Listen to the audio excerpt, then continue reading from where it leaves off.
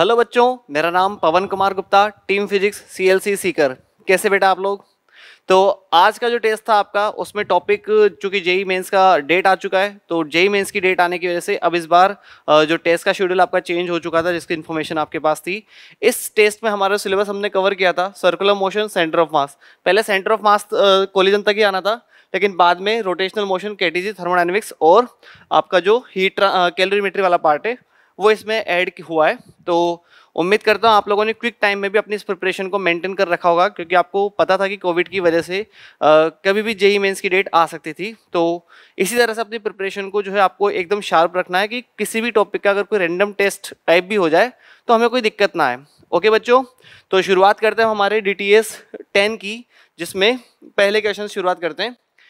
पहले क्वेश्चन में आपको heat energy absorb by the system in going through a cyclic process अब यहाँ पे साइक्लिक प्रोसेस में टोटल हीट एनर्जी बतानी है ठीक है?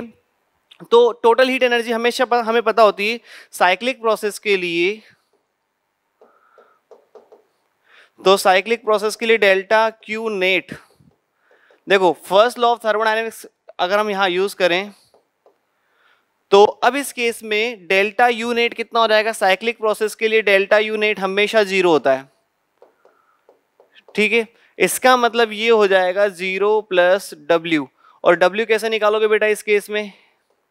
डब्ल्यू आएगा एरिया ऑफ़ दिस ग्राफ। देखो ये कौन सा है? ये है प्रेशर, ये है वॉल्यूम, है ना? तो ये जो एरिया आ जाएगा, ये आपको यूज़ करना है। टीवी ग्राफ का एरिया अंडर करो, क्या होता है? क्लोज्ड करो का जो एरिया होता है। वही होता है इसका वर्क नेट, है ना? वर्क भी ध्यान रखना है, कौन सा वाला? है नेटवर्क। अब इस नेटवर्क के लिए आपको देखो, यहाँ पे एक सर्किल ये दिया हुआ है तो इस केस में आपको ये जो इसका डायमीटर है, ये वाले डायमीटर को अपन मान लेते हैं, ये वाले डायमीटर को अपन मान लेते हैं D1 और ये वाले डायमीटर को अपन मान लेते हैं D2 तो सर्किल का एरिया कैसे निकालोगे बेटा आप? एरिया हो जाएगा सर्किल का pi D one D two by two भाई पाई आर स्क्वायर होता ना तो pi R one R two है ना?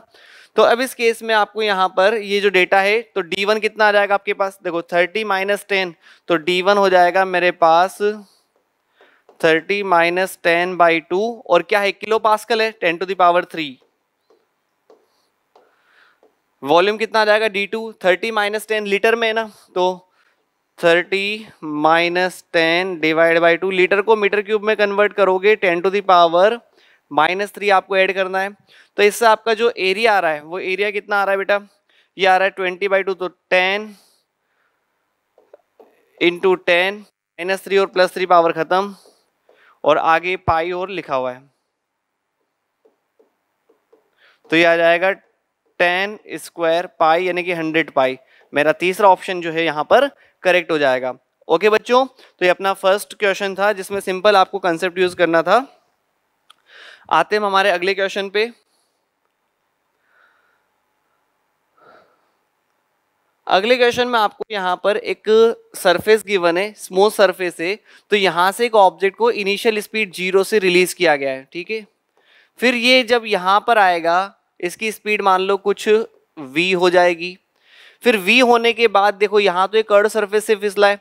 फिर ये कुछ v डैश स्पीड जब यहाँ होगी तो ये इस कॉन्टेक्ट सरफेस से जो कॉन्टेक्ट उसको खत्म कर देगा, है ना? तो वी डैश स्पीड पे मान लिया हम, ये कॉन्टेक्ट खत्म करेगा, जब इसकी एंगुलर पोजीशन कितनी थीटा तो आपको यहाँ पर थीटा की वैल्यू बतानी। ओके बच्चों, सबसे पहले तो इस पॉइंट को हम मेंशन कर देते हैं ए बी और सी तो जब हम ए से बी की बात कर रहे हैं तो ए से बी के लिए देखो एनर्जी इक्वेशन क्या कहती है? काइनेटिक एनर्जी कन्वर्ट होगी ना पोटेंशियल जो है काइनेटिक में कन्वर्ट होगी। तो इसका मतलब M G delta H one is half M V square तो v हो जाएगा two G delta H one तो ये हो जाएगा मेरे पास two G R by four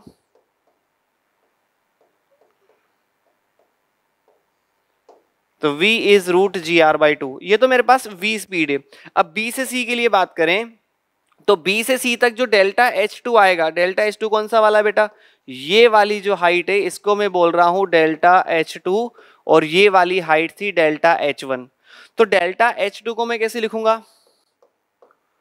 delta H two को मैं लिखूँगा R minus R cos theta okay इसकी वजह से अब देखो यहाँ पर काइनेटिक जो है, वो और बढ़ेगी ना अभी तो। तो V square half M V dash square को मैं कैसे लिखूँगा एनर्जी इक्वेशन से? Half M V square plus M G delta H two आगे बेटा तो एम से एम तो काट दो यहाँ पर। ये एम से एम कट जाएगा तो वी डेश स्क्वायर आ जाएगा मेरे पास। V square plus two G delta H two तो वी स्क्वायर कितना मेरे पास? G R by two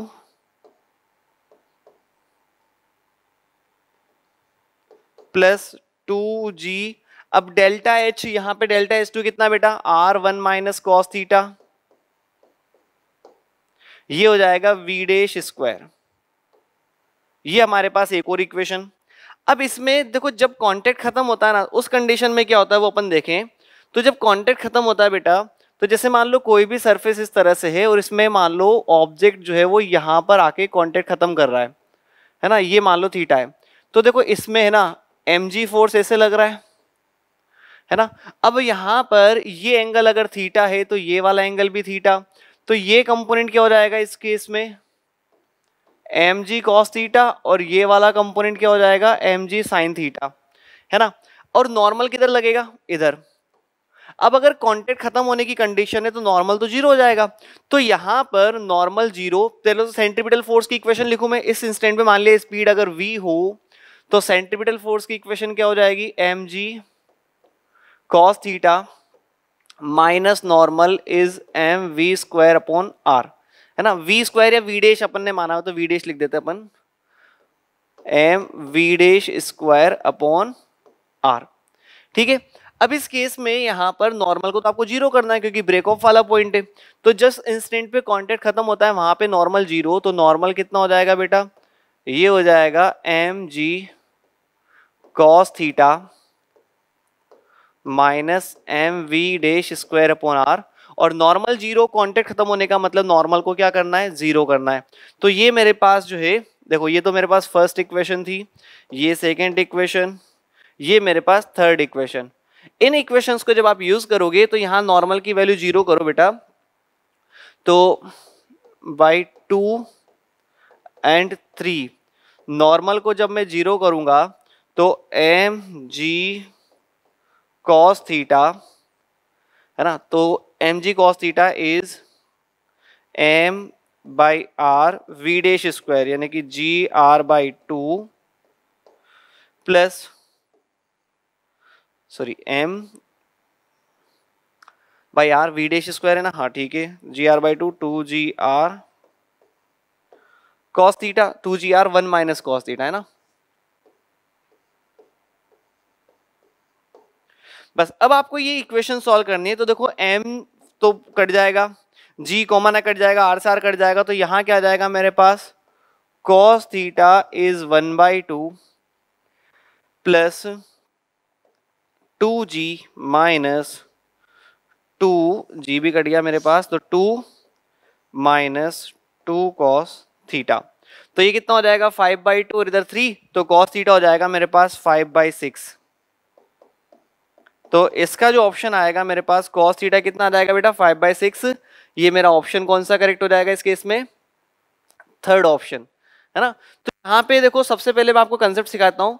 आपको क्या करना था? जब ये यहाँ से यहाँ तक फिसल का आया, तब आपको स्पीड बतानी है। उस स्पीड की वजह से फिर ये स्पीड गेन करेगा। फिर जब ये और आगे जाएगा, इसकी स्पीड और बढ़ेगी तो जहाँ पे इसका कॉन्टेक्ट खत्म होगा, वहाँ पे उसकी नॉर्मल रिएक्शन को आपको ज़ीरो करना है। है ना? उस पॉइंट पे स्पीड निकाल के देख लो कि नॉर्मल रिएक्शन ज़ीरो हो जाना चाहिए। नॉर्मल रिएक्शन ज़ीरो इसका मतलब सेंट्रीपिटल कौन प्रोवाइड करेगा?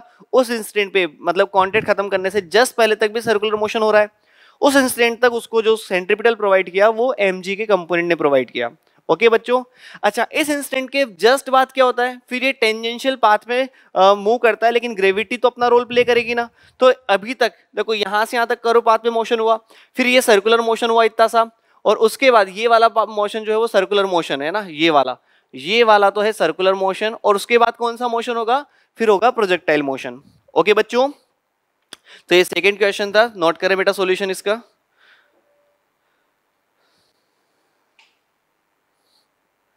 आता है अपना अगला थर्ड क्वेश्चन थर्ड क्वेश्चन में देखो, आपको यहाँ पर एक सिस्टम गिवन है। एम मास का ये ब्लॉक है टू एम मास का पर्सन और एम मास का ये एक और बड़ा प्लैंक है है ना? इसमें दो मीटर की डिस्टेंस पे ये सिस्टम है। आपसे पूछा है कि पर्सन रस्सी को खींचता है ना, ऐसे रस्सी यूँ यूँ खींच रहा है। पर्सन जो है वो इस ब्लॉक की रिलेटिव रेस्ट पे रहेगा। मतलब ब्लॉक ये प्लैंक जो है ना, उसके रिलेटिव तो रेस्ट पे रहेगा। रस्सी खींचेगा तो ये ब्लॉक आगे जाएगा। लेकिन पूरा सिस्टम देखें तो पूरा सिस्टम तो स्मूथ सरफेस पे है ना, यहाँ कोई फ्रिक्शन नहीं है। इसका मतलब यहाँ पर जो है देखो स्मूथ ओरिजेंटल सर्फेस दिया ना तो पूरे सिस्टम पे स्मूथ सर्फेसिस का मतलब कोई एक्स डायरेक्शन में एक्सटर्नल फोर्स नहीं है। तो सबसे पहले तो यहाँ हम बेसिक कंसेप्ट लिख लेते हैं एफ़ एक्स नेट कितना होगा? Zero net force X direction में ज़ीरो अब इस केस में इसका मतलब और सिस्टम रेस्ट पे था एंड इनिशियली रेस्ट सिस्टम के इनिशियली रेस्ट पे होने का मतलब यह है कि इसमें कोई एक्सटर्नल फोर्स नहीं लग रहा है, सिस्टम इनिशियली रेस्ट में है तो इसका मतलब सेंटर ऑफ़ मास की पोजीशन चेंज नहीं होगी। इसका मतलब delta X C M zero, यही हुआ ना? तो delta X C M zero का मतलब क्या हो जाएगा? इसका मतलब M one delta X one plus M two delta X two. चलो, अब मैं मान लेता हूँ कि ये जो प्लैंक है ना इक्वल टू ज़ीरो है ना? यही होगा। भाई डेल्टा एक्स एम कैसे निकालते हैं? M one delta X one plus M two delta X two upon M one plus M two तो वो upon M one plus M two तो ज़ीरो से मल्टीप्लाई होकर वापस ज़ीरो बन जाएगा। अब देखो, मैं मान लेता हूँ कि सिस्टम जो है ना, वो अपनी इस इनिशियल पोजिशन से कितना आगे गया होगा? मैं मान लेता हूँ कि ये जो है वो इतना आगे गया होगा एक्स डिस्टेंस हमें यही पूछा है कि ये एक्स कितना होगा, है ना? अब इसने बोला है कि man does not leave his position on the plank during the pull तो जब आदमी रस्सी खींच रहा है तो उसकी जो पोजिशन है प्लैंक के हिसाब से वो चेंज नहीं हो रही। तो ये यहाँ पे देखो, पूरा सिस्टम देखो, यहाँ पे ये जो है ब्लॉक तो यहाँ आ चुका है ना? तो ब्लॉक यहाँ आ चुका अब ये पुली वुली का डिस्टेंस जो है ना, इसको आप ज़ीरो मानो पूरे को, है ना? पुली की विथ और वो सबको तो आपको इग्नोर करना है। तो इस केस में ये ब्लॉक तो यहाँ आ गया, है ना? अब ब्लॉक यहाँ आ गया इस केस में। तो क्या होगा देखो? और ये आदमी यहाँ खड़ा हुआ है ना? तो ये आदमी जो है अभी भी प्लैंक के हिसाब से तो वहीं पे खड़ा हुआ, जहाँ ये पहले खड़ा हुआ था, है ना? तो देखो, ये मान लिया ब्लॉक जो है वो एक्स डिस्टेंस आया होगा, है ना? मान लिया ब्लॉक जो है वो ये प्लैंक जो है वो एक्स डिस्टेंस आगे चला। तो टोटल ये अपनी इनिशियल पोजीशन से कितना आगे आया होगा? ये अपनी इनिशियल पोजीशन से आगे आया होगा टू माइनस एक्स क्योंकि ओवरऑल देखो ब्लॉक और पुली के बीच का सेपरेशन कितना था? Two metre. तो अगर पुली टू मीटर आ गई तो ब्लॉक जो है वो टू मीटर तो आगे नहीं आएगा, ब्लॉक तो खाली टू माइनस एक्स आगे आएगा, है ना? और पुली का मतलब क्या है? ये टू एम प्लस एम। तो एम वन तो मैं इन दोनों को तो मान रहा हूँ मैं एम वन, है ना? और इस अकेले को मैं मान रहा हूँ एम टू। तो एम वन का मतलब क्या है बेटा? Three M. एक्स वन का मतलब प्लस एक्स। एम टू का मतलब सिंगल एम। इस ब्लॉक का मास सिंगल एम है और ये हो जाएगा minus of two minus X. Zero. जब आप इसको सॉल्व करोगे बेटा इक्वेशन को तो three M X equals two two M M two minus X है ना? एम से एम खत्म तो ये कितना हो जाएगा? Four X equals two two तो x equals two one by two metre यानी कि पॉइंट फाइव मीटर तो मेरा फ़र्स्ट ऑप्शन जो है वो यहाँ करेक्ट हो जाएगा। ओके बच्चों नोट करें यहाँ तक। बच्चों, अब आता है हमारा फोर्थ क्वेश्चन। फोर्थ क्वेश्चन में आपको ये बोला है कि एक स्क्वायर प्लेट है और इससे अपन ने एक हिस्से को हटा के दूसरी तरफ़ शिफ्ट कर दिया। देखो, अगर ये शिफ्टिंग नहीं करते मतलब ये हिस्सा हटा के यहाँ शिफ्ट नहीं करते तो सेंटर ऑफ़ मास फिर तो बीचों बीच आता, क्योंकि सिमेट्रिकल सिस्टम होता। लेकिन हमने जब ये हिस्सा हटाया तो यहाँ से मास हटके उधर फ़र्स्ट क्वाड्रेंट में शिफ्ट हुआ। तीसरे क्वाड्रेंट का मास फ़र्स्ट क्वाड्रेंट में गया तो इसका मतलब सेंटर ऑफ़ मास भी फ़र्स्ट क्वाड्रेंट में जाएगा। सेंटर ऑफ़ मास अगर फ़र्स्ट क्वाड्रेंट में जाएगा तो दोनों एक्स और वाई कोऑर्डिनेट पॉजिटिव होने चाहिए। सभी ऑप्शन में है। दूसरा एकदम सिमेट्रिकल शिफ्टिंग ऐसे हुई ना तो सेंटर ऑफ़ मास का एक्स और वाई कोऑर्डिनेट भी सेम होना चाहिए। हर ऑप्शन में ऐसा है। मतलब ऑप्शन क्रॉस चेकिंग में तो फिर चार ऑप्शन सेट बैठ रहे हैं। अब अपन को कैलकुलेशन पे आना पड़ेगा ना? भाई सेंटर ऑफ़ मास फाइंड करने के जो क्वेश्चन होते हैं ना, पहला तरीका था ऑप्शन क्रॉस चेक करो।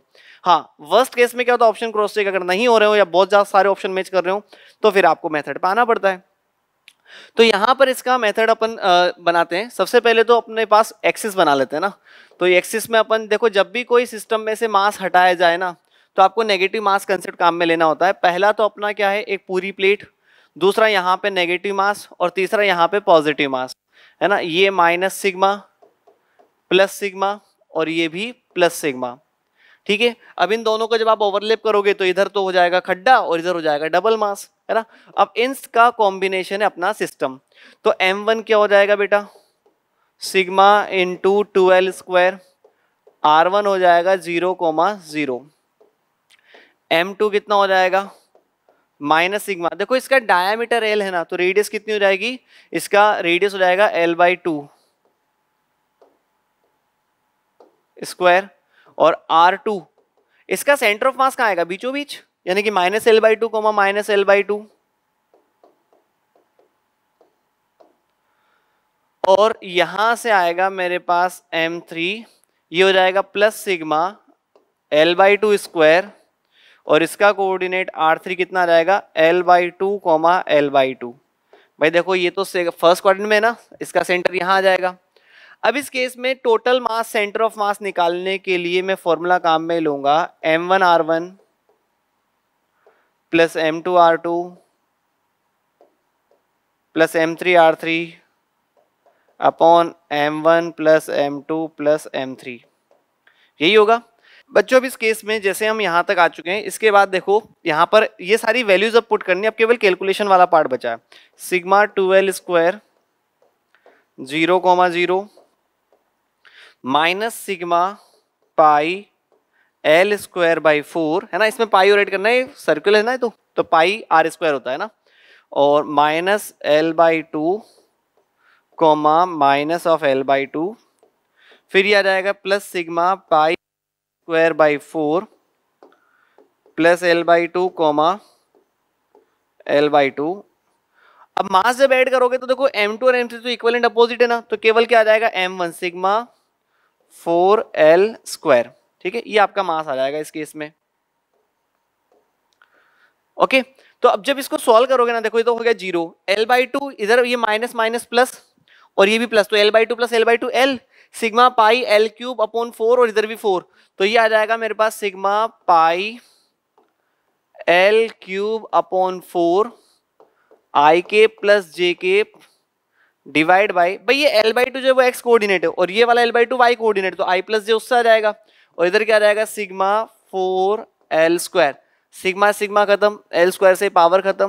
तो ये हो जाएगा मेरे पास pi L by sixteen I K plus J के तो मेरा ऑप्शन कौन सा हो जाएगा बेटा इस केस में? मेरा ऑप्शन इसमें आएगा फोर्थ ऑप्शन करेक्ट तो फोर्टीन का मेरा फोर्थ ऑप्शन जो है वो करेक्ट बन रहा है। ओके बच्चों? सॉल्यूशन नोट कर लें एक बार इसका। स्क्रीनशॉट लें।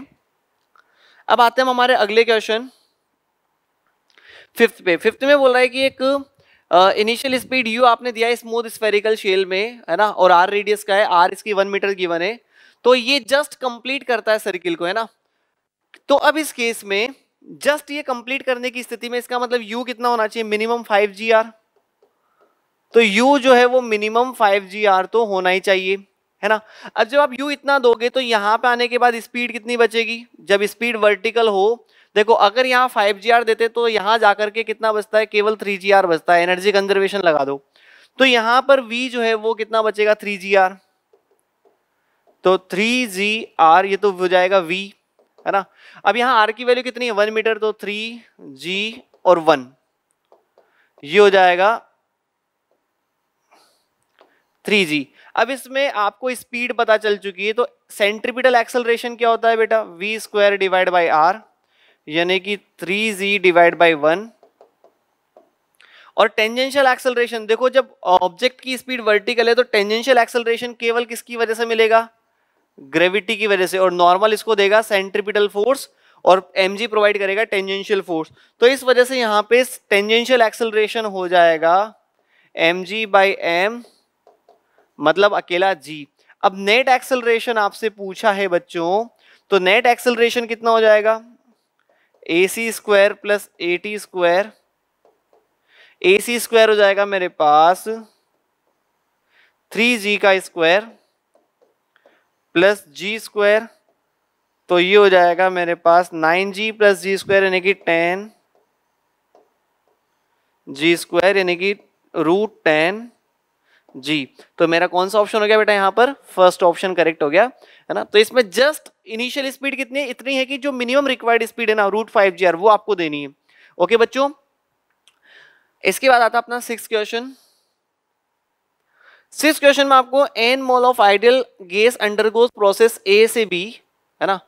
अब इसमें आपको मैक्सिमम टेम्परेचर ऑफ़ गैस बताना है during the process will be अब देखो, सबसे पहले तो यहाँ पी और वी का जो ग्राफ है वो इस तरह का है। कई लोग इसको क्या बोलते हैं? आइसोथर्मल ये आइसोथर्मल नहीं है, ठीक है? क्योंकि आइसोथर्मल का ग्राफ ऐसा हाइपरबोला होता है। तो सबसे पहले यहाँ पर आप इसी ग्राफ को अगर आगे बढ़ाते हो, है ना? तो देखो, ये जब टू वी नोट है ना तो प्रेशर पी नोट है। इसको आधा करा तो प्रेशर यहाँ मतलब जब आप वी नोट पीछे गए तो प्रेशर पी नोट बढ़ा। और वी नोट पीछे जाओ तो प्रेशर पी नोट और बढ़ेगा। स्ट्रेट लाइन का कंसेप्ट ये तो कहता है।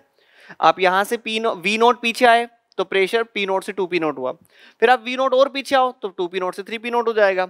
अब इससे मैं वाई बराबर M X plus C use करते हुए इक्वेशन लिखूँगा तो मेरे पास इक्वेशन क्या रहेगी पी इक्वल्स टू स्लोप कितना हो जाएगा? Minus of P naught upon V naught V plus three P naught ये तो मेरे पास क्या जाएगा बेटा? ये आएगा मेरे पास प्रेशर। आ गया। अब जैसे ही प्रेशर आया, इस प्रेशर के बाद मुझे यहाँ पर टेम्परेचर की वैल्यू बतानी है, कि टेम्परेचर इस प्रोसेस के दौरान कितना होगा मैक्सिमम तो सबसे पहले तो टेम्परेचर क्या होता है अपने पास? P V upon R T यही होता है ना? P V upon N R है ना? तो P V upon N R अब यहाँ पर पी की जगह मैं पूरी बड़ी सी वैल्यू लिख दूँ तो ये हो जाएगा minus of P naught V naught V plus three P naught upon N R आ गया? और साथ में वी से और मल्टीप्लाई करना है। अब मुझे टेम्परेचर का मैक्सिमम बताना है तो पहले वॉल्यूम की वो वैल्यू बताऊँ जिस पे टेम्परेचर मैक्सिमम होगा। तो इस केस में for maxima of T with respect to V क्या करेंगे बेटा? डी टी बाई डी को ज़ीरो कर दो। भाई, जिसका मैक्सिमम बताना होता है और जिसके रिलेटिव बताना होता है, उसके रिलेटिव डिफरेंशिएशन फ़र्स्ट डिफरेंशिएशन को ज़ीरो करो। तो यहाँ पर आप जब डिफ्रेंसिएशन करोगे तो देखो एन आर तो चलो बाहर निकाल लो, ये तो कॉन्स्टेंट टर्म है ना? वी स्क्वायर का डिफ्रेंसिएशन क्या हो जाएगा? Minus P naught upon V naught एक कॉन्स्टेंट टर्म वी स्क्वायर का differentiation two V three P naught as it is और v का differentiation one equal to zero इसको सॉल्व करोगे ना तो आपके पास कितना आ जाएगा बेटा? ये आ जाएगा आपके पास p naught two P naught V upon V naught equal to three P naught से पी नॉट काटो तो v कितना हो जाएगा? V हो जाएगा three V naught by two मतलब जब यहाँ पर वॉल्यूम की वैल्यू इतनी होगी three V naught by two ये बीच का वॉल्यूम जब होगा उस टाइम पर टेम्परेचर जो है वो मिनिमम सॉरी मैक्सिमम होगा। तो इतने वॉल्यूम पे प्रेशर कितना आ जाएगा तो इस केस में प्रेशर और निकाल लो। Minus P naught upon V naught three V naught by two plus three P naught तो ये कि थ्री बाई टू तो तीन में से डेढ़ माइनस करोगे तो डेढ़ बचेगा। तो ये हो जाएगा three P naught by two ये प्रेशर आ गया। टेम्परेचर क्या होता है? टेम्परेचर होता है P V upon N R P कितना हो जाएगा मेरे पास? Three by two P naught V naught कितना हो जाएगा इस केस में? Three V naught by two upon N R अब देखो three by two three by two कितना हो जाएगा? Nine by four P naught V naught upon N R आगे अपना आंसर तो यहाँ पे सबसे पहले आपको पी और वी में रिलेशन निकालना है। फिर टेम्परेचर को वी की टर्म्स में निकालो। टेम्परेचर का मैक्सिमम पूछा है तो आपको टेम्परेचर का differentiation with respect to volume zero कर दो। मैक्सिमम मिनिमा कंसेप्ट यही कहता है। तो ये अगर आपको चीज़ क्लिक कर जाती है तो आपको क्वेश्चन में डायरेक्शन अपने आप मिलती जाएगी। ओके बच्चों? बच्चों, अब अपना आता है सेवंथ क्वेश्चन इसमें आपको यहाँ पर एक डिस्क जो है वो रोल करते हुए दी गई है। रोलिंग विद स्लिपिंग यहाँ केस दिया हुआ है है ना? तो ये बोल रहे हैं कि इसमें एंगुलर वेलोसिटी जो है एंगुलर वेलोसिटी जो है वो 10 रेडियन पर सेकेंड है तो आपको बताना है कि पी पॉइंट की वेलोसिटी कितनी होगी? पी पॉइंट कौन सा वाला? ये वाला, है ना? अब देखो सेंटर के जस्ट होरिजोनटल लेवल पे ही एक आपको पॉइंट गिवन है। तो देखो, हमें पता है जो सेंटर की स्पीड होती है ना है ना? कोई भी ऑब्जेक्ट अगर रोलिंग करता है तो जो सेंटर की स्पीड होती है, वो तो सबको एज इट इज़ मिलती है। तो वो इस पॉइंट को भी ऐसे मिल जाएगी। और जो रोलिंग स्पीड होती है ना बेटा, जो रोलिंग स्पीड होती है, वो ऐसे, उसकी वजह से ओमेगा इधर मिलेगा। अब ओमेगा कितना है? टेन तो टेन आर कितना दिया है ट्वेंटी सेंटीमीटर यानी कि टू बाई टेन तो ये आ जाएगा टू वीसी कितना दिया इन्होंने? वीसी दिया हुआ मुझे फोर तो इसमें जो नेट स्पीड आएगी, वो नेट स्पीड किधर आ जाएगी बेटा? नेट स्पीड आएगी इस तरफ़। तो वी नेट क्या हो जाएगा मेरे पास?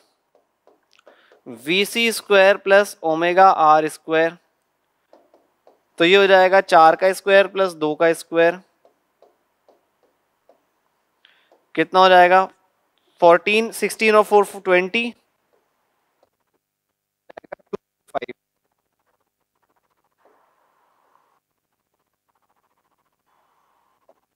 तो टू रूट फाइव ये अपना फोर्थ ऑप्शन यहाँ करेक्ट हो जाएगा। ओके बेटा, आते हैं नेक्स्ट पे।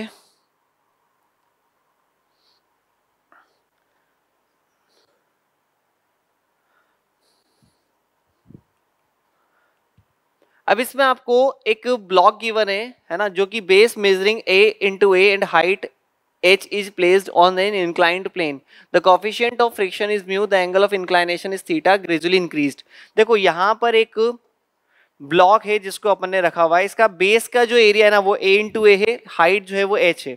तो ये हाइट अब देखो, जब अपन इसको इंक्लाइनेशन एंगल को बढ़ाएँगे तो इसको फिसलाने का काम कौन सा फोर्स करता है बेटा?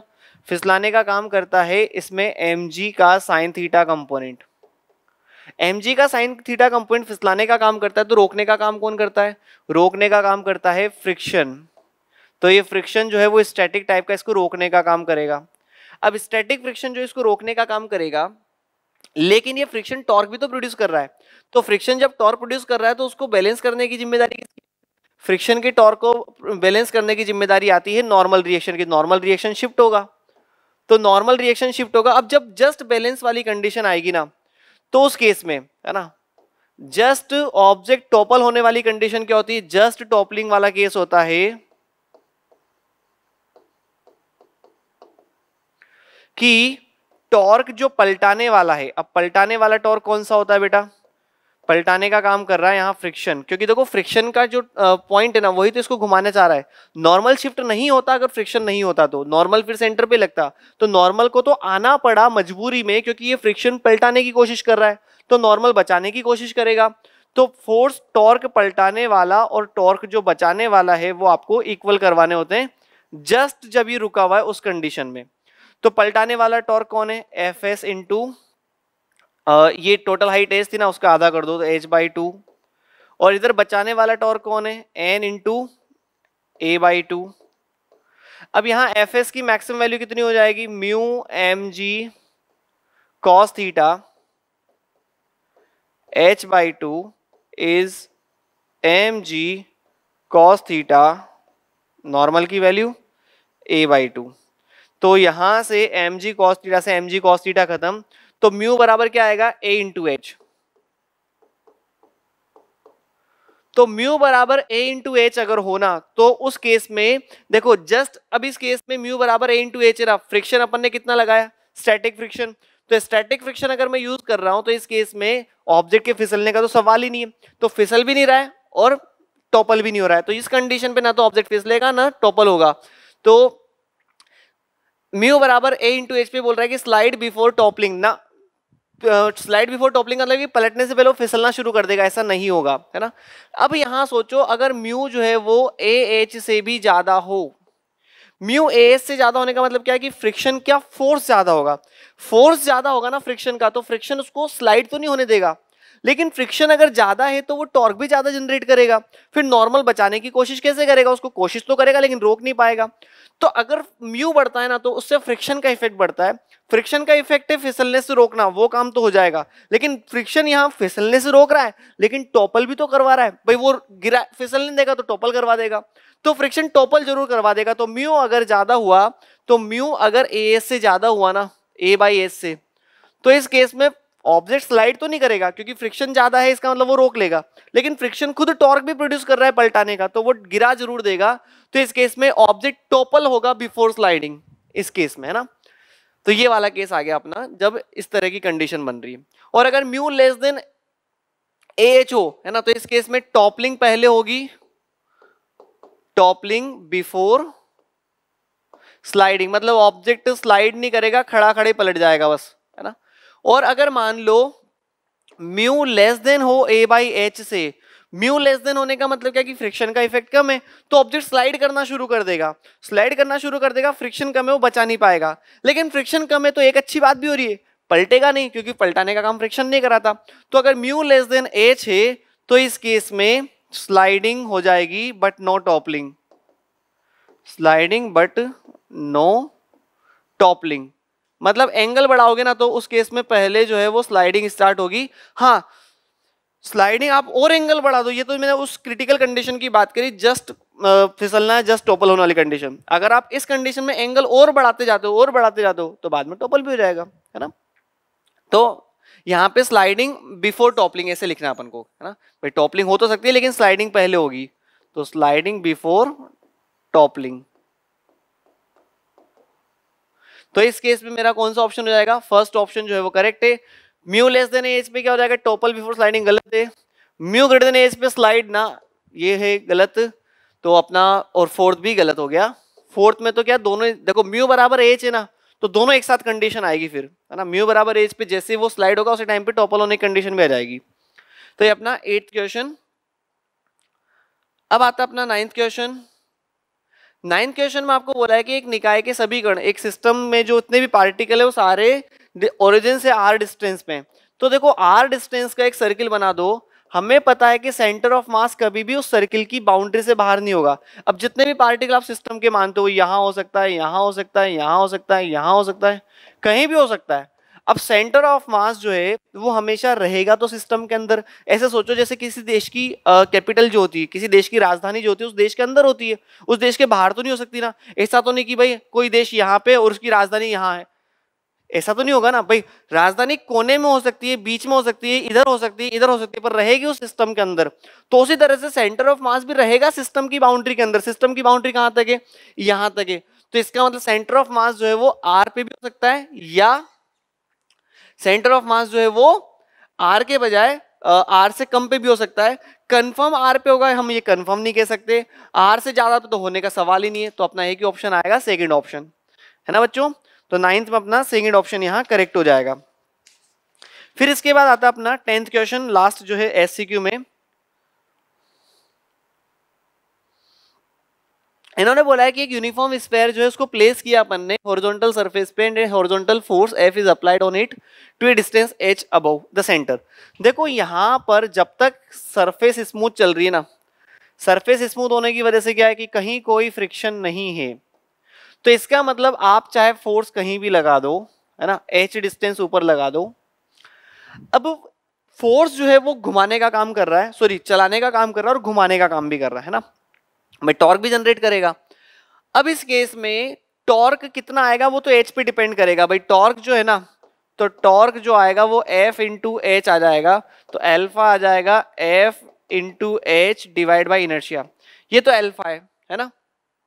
लेकिन ये बोल रहे हैं कि acceleration of centre of mass centre of mass को कभी भी अल्फ़ा नहीं मिलेगा. सेंटर ऑफ़ मास को केवल, क्योंकि रोटेशन तो देखो अल्फ़ा की वजह से यहाँ कोई एडिशनल एक्सेलरेशन नहीं मिलेगा सेंटर ऑफ़ मास को. सेंटर ऑफ़ मास को केवल कौन सा एक्सेलरेशन मिलेगा? जो लीनियर एक्सेलरेशन होता है, वो. है ना? ये अल्फ़ा वाला अल्फ़ा की वजह से जो एक्सेलरेशन मिलता है, वो अदर पॉइंट्स को मिलता है. है ना? टेंजेंशियल एक्सेलरेशन मिलता है अल्फ़ा इंटू आर से. लेकिन सेंटर ऑफ़ मास को तो नहीं मिलेगा ना. तो सेंटर ऑफ़ मास का जो नेट एक्सेलरेशन होगा वो केवल और केवल कौन सा वाला होगा? ट्रांसलेशनल मोशन वाला जो एक्सलरेशन है वो ए सी ट्रांसलेशनल, है ना? बाकी और कोई इसको मिलेगा नहीं। तो इस केस में बाकी तो सारे ज़ीरो है ना तो इसका केवल ए सी ट्रांसलेशनल। अब ट्रांसलेशनल एक्सलरेशन कैसे लिखते हैं? F net divide by mass net. तो mass net F by M तो इसमें कहीं एच आ रहा है क्या? नहीं आ रहा है। तो सेंटर ऑफ़ मास को ध्यान रखना, केवल लीनियर एक्सेलरेशन मिलेगा और वो फोर्स चाहे कहीं भी लगाओ, चाहे ऊपर लगाओ या नीचे लगाओ सेंटर ऑफ़ मास का एक्सेलरेशन फिक्स रहेगा एफ़ बाई एम ओके तो ये एच पर डिपेंड नहीं कर रहा है। तो अपना कौन सा ऑप्शन हो जाएगा? फोर्थ ऑप्शन यहाँ करेक्ट हो जाएगा। ओके बच्चों तो नोट करें यहाँ तक। बच्चों अपना पैराग्राफ आता है। इसमें आपको एक देखो स्प्रिंग की नेचुरल लेंथ कितनी दी गई है आपको? नेचुरल लेंथ दी गई है स्प्रिंग की R by two spring constant take है ना? अब देखो यहाँ पर इसको अपन ने सेंटर से आर बाई टू हाइट पे से बांधा हुआ है। तो ये जो लेंथ है, ये नेचुरल प्लस एक्सटेंडेड कुछ हो सकती है। तो फ़िलहाल तो मैं ये लेंथ निकालता हूँ एल ये एल कितना आएगा? देखो साइन थीटा इस ट्राइंगल में क्या बनेगा? राइट एंगल ट्राइंगल बन गया ना। इस ट्राइंगल में साइन थीटा आएगा मेरे पास साइन थीटा जाएगा sorry cos theta cos theta क्या जाएगा यहाँ पर मेरे पास? इस ट्राइंगल में कॉस थीटा आएगा R by two divide by R इसका मतलब थीटा कितना है? सिक्सटी डिग्री तो एल क्या आ जाएगा? ये आ जाएगा आर साइन सिक्सटी इसका मतलब root three by two R तो जो एक्स आएगा, वो कितना आएगा बच्चों? जो एक्सटेंशन आएगा स्प्रिंग का, वो आ जाएगा L minus L naught L कितना है? ये है root three by two R minus of R by two इसका मतलब root three minus one R by two ये है एक्सटेंशन ठीक है बच्चों? ये तो मैंने स्प्रिंग का एक्सटेंशन निकाला। अब इसी में जब देखो स्प्रिंग एक्सटेंडेड तो वो फोर्स भी तो लगाएगी। तो यहाँ स्प्रिंग ने कुछ फोर्स लगाया होगा। ये स्प्रिंग का फोर्स इधर आया होगा। एफ़ एस इस तरह से। इस एफ़ के दो कंपोनेंट करेंगे। देखो ये एंगल अगर 60 है थीटा तो ये कितना हो जाएगा? 30 फिर इसका एक कंपोनेंट जो टेंजेंशियल आएगा, वो आएगा एफ़ साइन 30 है ना? एफ़ एस साइन 30 तो यहाँ पर जो मेरे पास कंपोनेंट आ रहा है, वो आ रहा है एफ़ एस साइन थर्टी। तो एफ़ एस साइन थर्टी, यानी कि एफ़ एस बाई टू इसी तरह से बच्चों, यहाँ पर एक एम जी फोर्स भी लगेगा। तो ये एम जी फोर्स ऐसे लगेगा।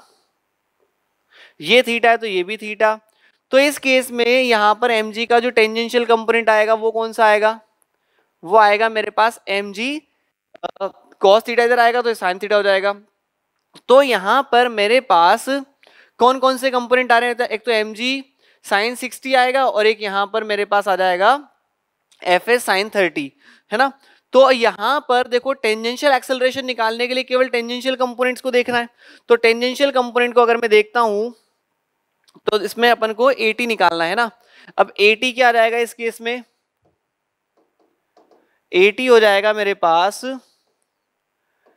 F tangential net by mass okay ये हो जाएगा मेरे पास नेट अब एफ़ टेंजेंशियल नेट कितना होगा? एफ़ टेंजेंशियल नेट होगा मेरे पास, देखो, एक तो आएगा एम जी का साइन सिक्सटी कंपोनेंट माइनस इसमें से मैं करूँगा किसको? M G sine sixty component था ना, देखो ये वाला। यहाँ पे एंगल थीटा है तो ये थीटा तो एम जी का ये कंपोनेंट कॉस थीटा तो इधर वाला component sine theta sine theta से मतलब साइन सिक्सटी तो ये M G sine sixty minus F S का कौन सा कंपोनेंट आएगा? F S sine thirty upon M तो ये कौन सा हो जाएगा? G root three by two minus K X X है root three minus one R by two और one by two upon M तो ये हो जाएगा मेरे पास G root three by two minus of K R upon four M root three minus one ये हो जाएगा मेरे पास टेंजेंशियल एक्सेलरेशन तो एक बार देखते हैं टेंजेंशियल एक्सेलरेशन कितना आ रहा है। तो G root three by two minus K R upon four M root three minus one आ गया। अब इसमें रेडियल एक्सेलरेशन पूछा है। देखो, हमने जब इसको रेस्ट से रिलीज़ किया है है ना? जब ऑब्जेक्ट को रिलीज़ फ्रॉम रेस्ट है ना? अब ऑब्जेक्ट को रेस्ट से रिलीज़ करेंगे तो इस केस में बेटा देखो क्या होगा? यहाँ पर वी इनिशियल कितनी है? ज़ीरो वी इनिशियल ज़ीरो होने का मतलब सेंट्रिपिटल फोर्स इनिशियल कितना हो जाएगा? ज़ीरो तो सेंट्रिपिटल फोर्स के लिए कैलकुलेशन नहीं करना है, केवल देख लो स्पीड ज़ीरो इसका मतलब सेंट्रिपिटल फोर्स ज़ीरो है। तो ये रेडियल एक्सलरेशन वाला ऑप्शन जो है वो तो गलत है है ना? ये स्पर्श रेखी वाला से हो जाएगा। बाकी तो फिर हो ही गया अपना। ठीक है बच्चों तो इस तरह से यहाँ पर फ़र्स्ट ऑप्शन करेक्ट है इलेवंथ का। है ना, एक बार इसका सॉल्यूशन नोट कर लें आप। फिर आता है ट्वेल्थ ट्वेल्थ में देखो आपको यहाँ पर ये बोला है कि ए पर जो है, ये टॉप मोस्ट पॉइंट पे ट्रैक में है है ना? The block is slowly pushed from rest at the highest point A when the spring is stretched in horizontal state. तो देखो यहाँ पर जो horizontal state है ना, वहाँ पे point A बोल दिया उसको, है ना? Horizontal state वाले point को ये बोला है। ये बोल रहे हैं कि इस केस में स्प्रिंग की स्टोर्ड एनर्जी कितनी है? तो स्प्रिंग की स्टोर्ड एनर्जी के लिए सिंपल सा फॉर्मूला क्या हो जाएगा मेरे पास? U equals to half K X square half K X की वैल्यू कितनी थी बेटा? Root three minus one R by two का स्क्वायर तो यह आ जाएगा K R square by eight और root three minus one whole square तो सेकंड ऑप्शन करेक्ट हो जाएगा स्प्रिंग की एनर्जी वाला। ठीक है? अब ये बोल रहे हैं कि gravitational potential energy U zero at theta equal to zero is M G R अब थीटा की वैल्यू ज़ीरो हो, देखो थीटा क्या है? बाकी ऑप्शन चेक करते हैं अपन।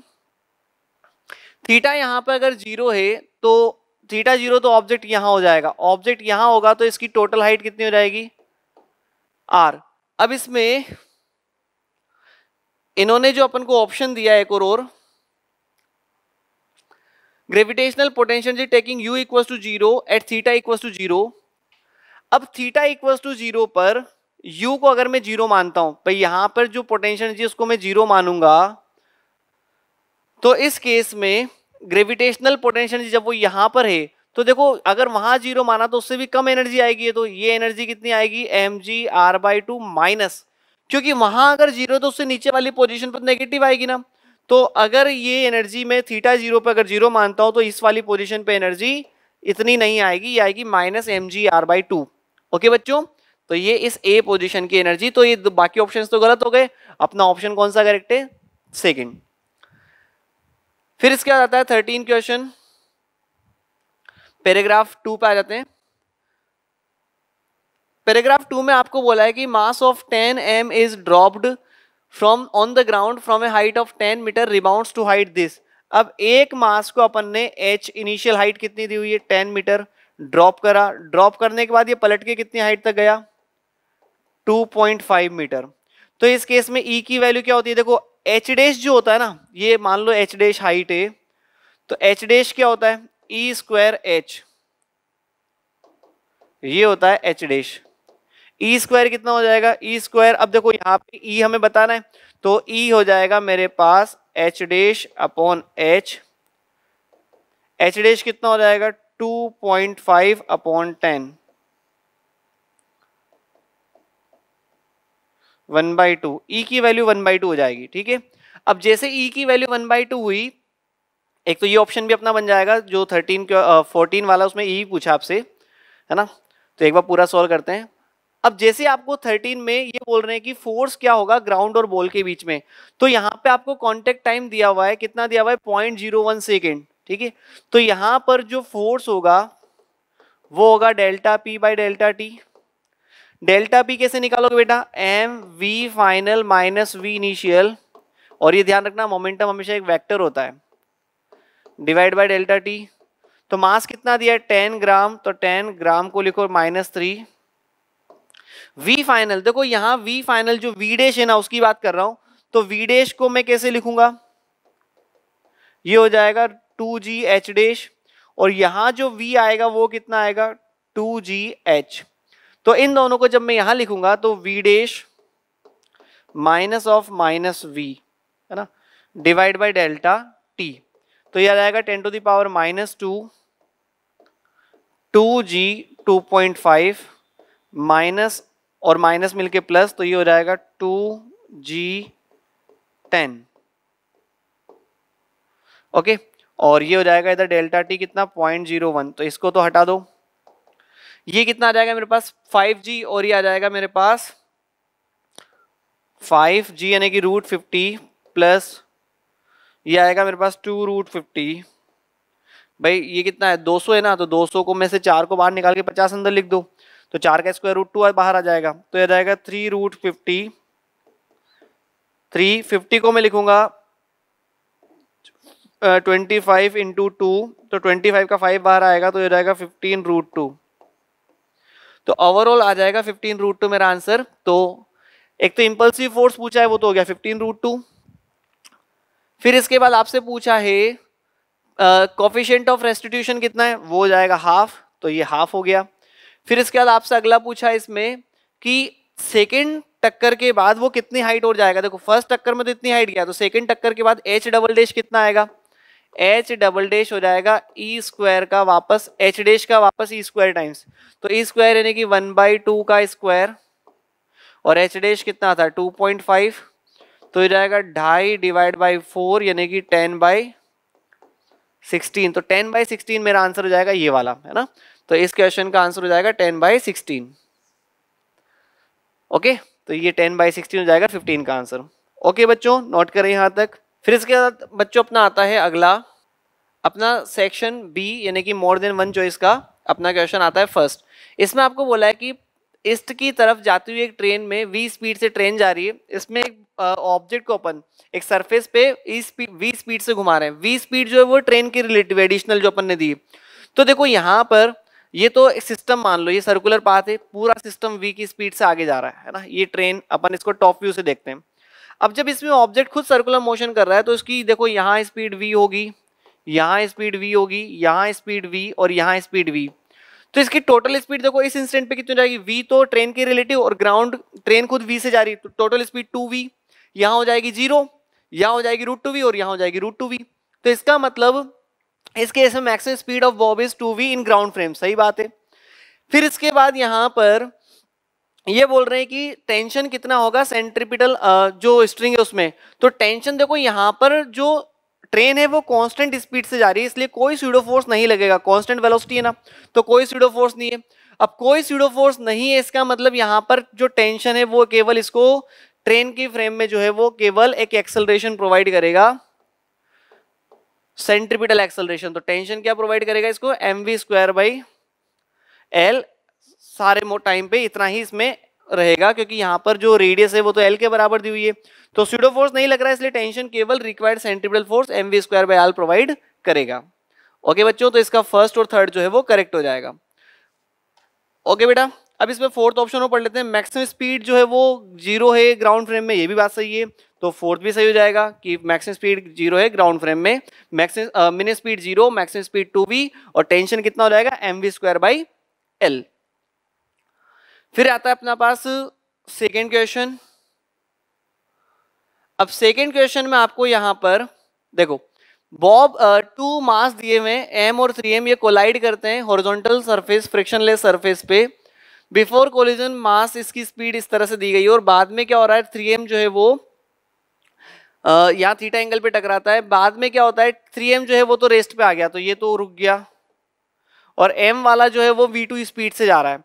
और यहाँ पे साइन थीटा कितना दिया हुआ है थ्री बाई फाइव इसका मतलब थीटा कितना हो जाएगा थर्टी सेवन अब देखो बच्चों, यहाँ पर थीटा थर्टी सेवन है और साथ में देखो, जो ये सिस्टम है ना, इसमें मोमेंटम तो कांस्टेंट रहेगा।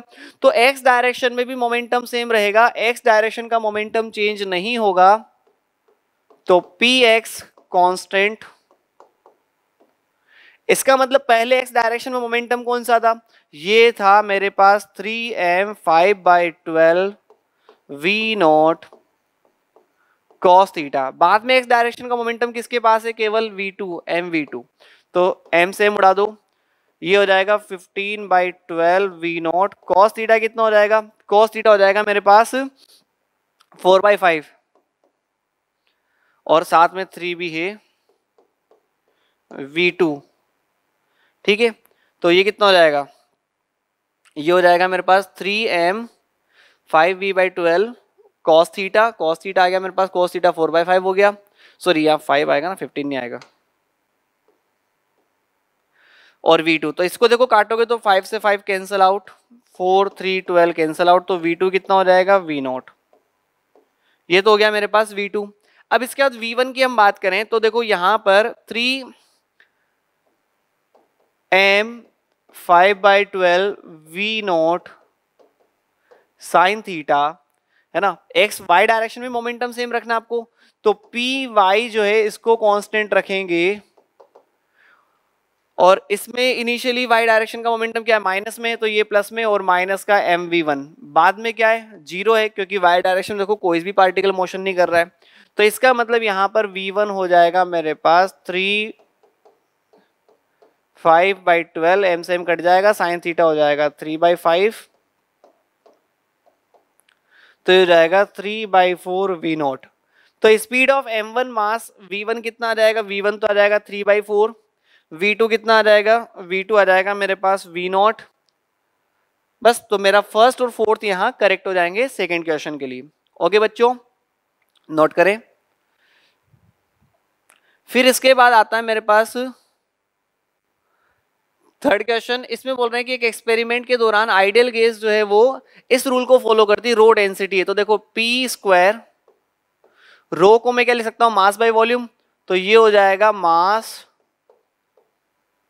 by volume is constant तो मैं ऐसे बोल सकता हूँ P square V is constant है ना? अब अपन ने क्या करा यहाँ पर?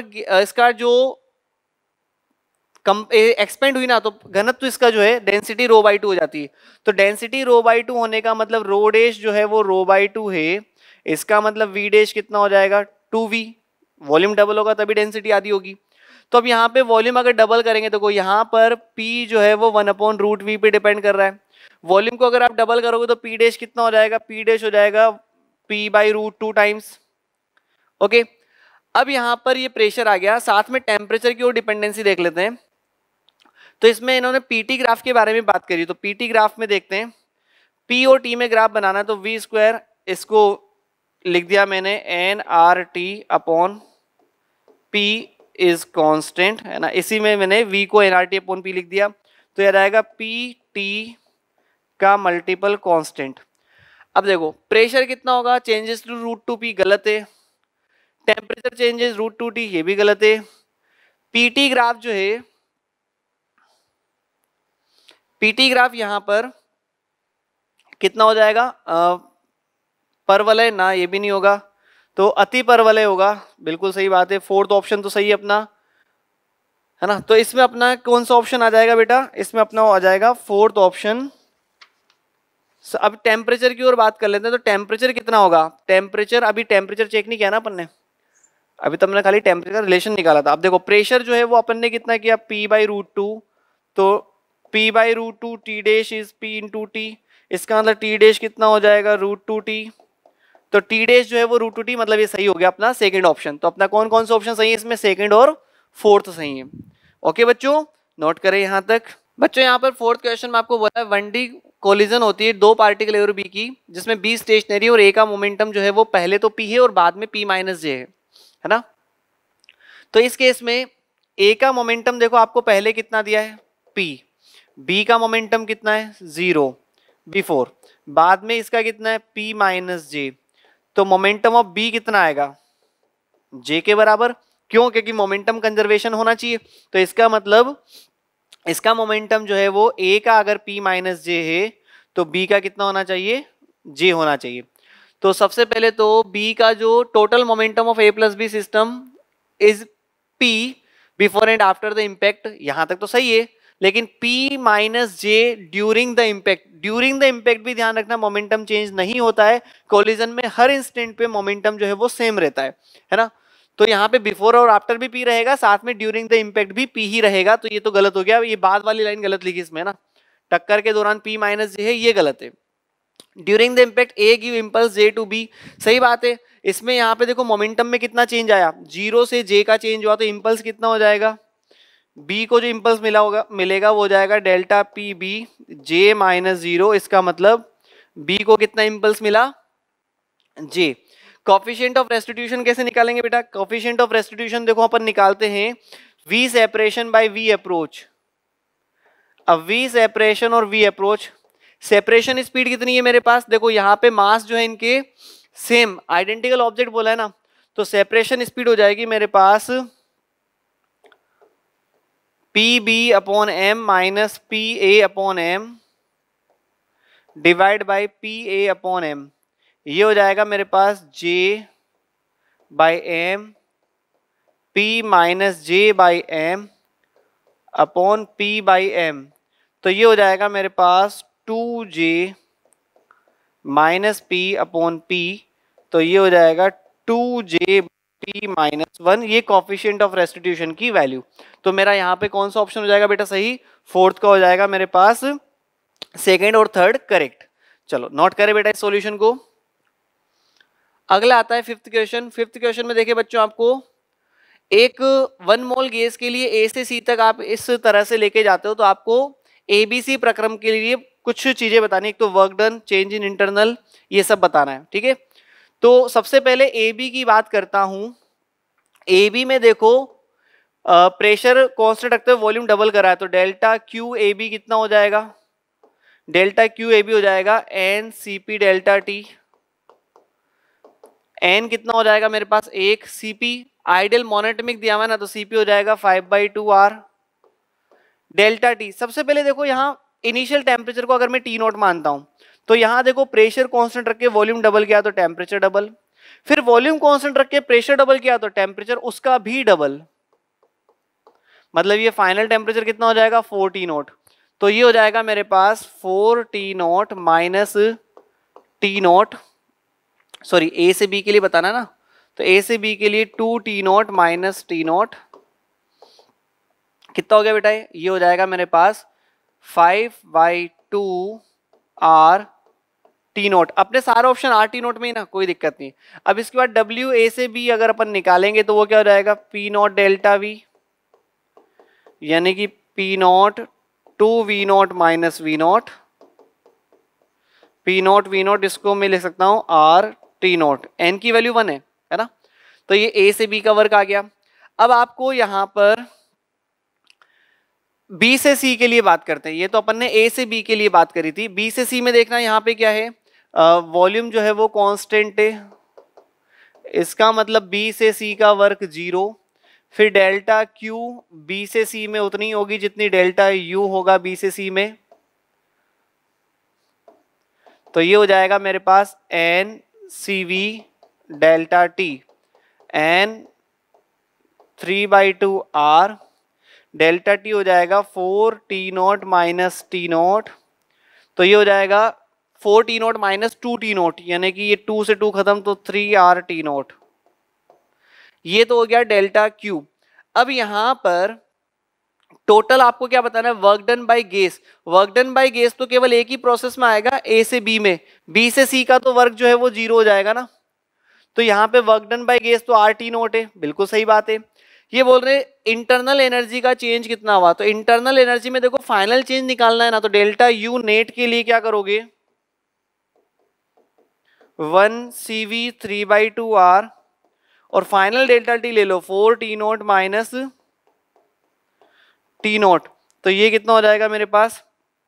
टोटल चेंज इन इंटरनल हो जाएगा तीन तीन nine by two R T naught तो टोटल इंटरनल का चेंज इतना ना होकर के हो जाएगा nine by two R T naught फिर उसके बाद मेरे पास आता है तो अपना ये वाला ऑप्शन तो गलत हो जाएगा। Heat absorb by the gas अब हीट एब्जॉर्ब कितनी होगी? देखो, दोनों प्रोसेस की हीट को ऐड करो five by two R T naught और थ्री आर टी नोट तो फाइव बाई टू ये हो जाएगा इलेवन आर टी नोट सही बात है? है ना?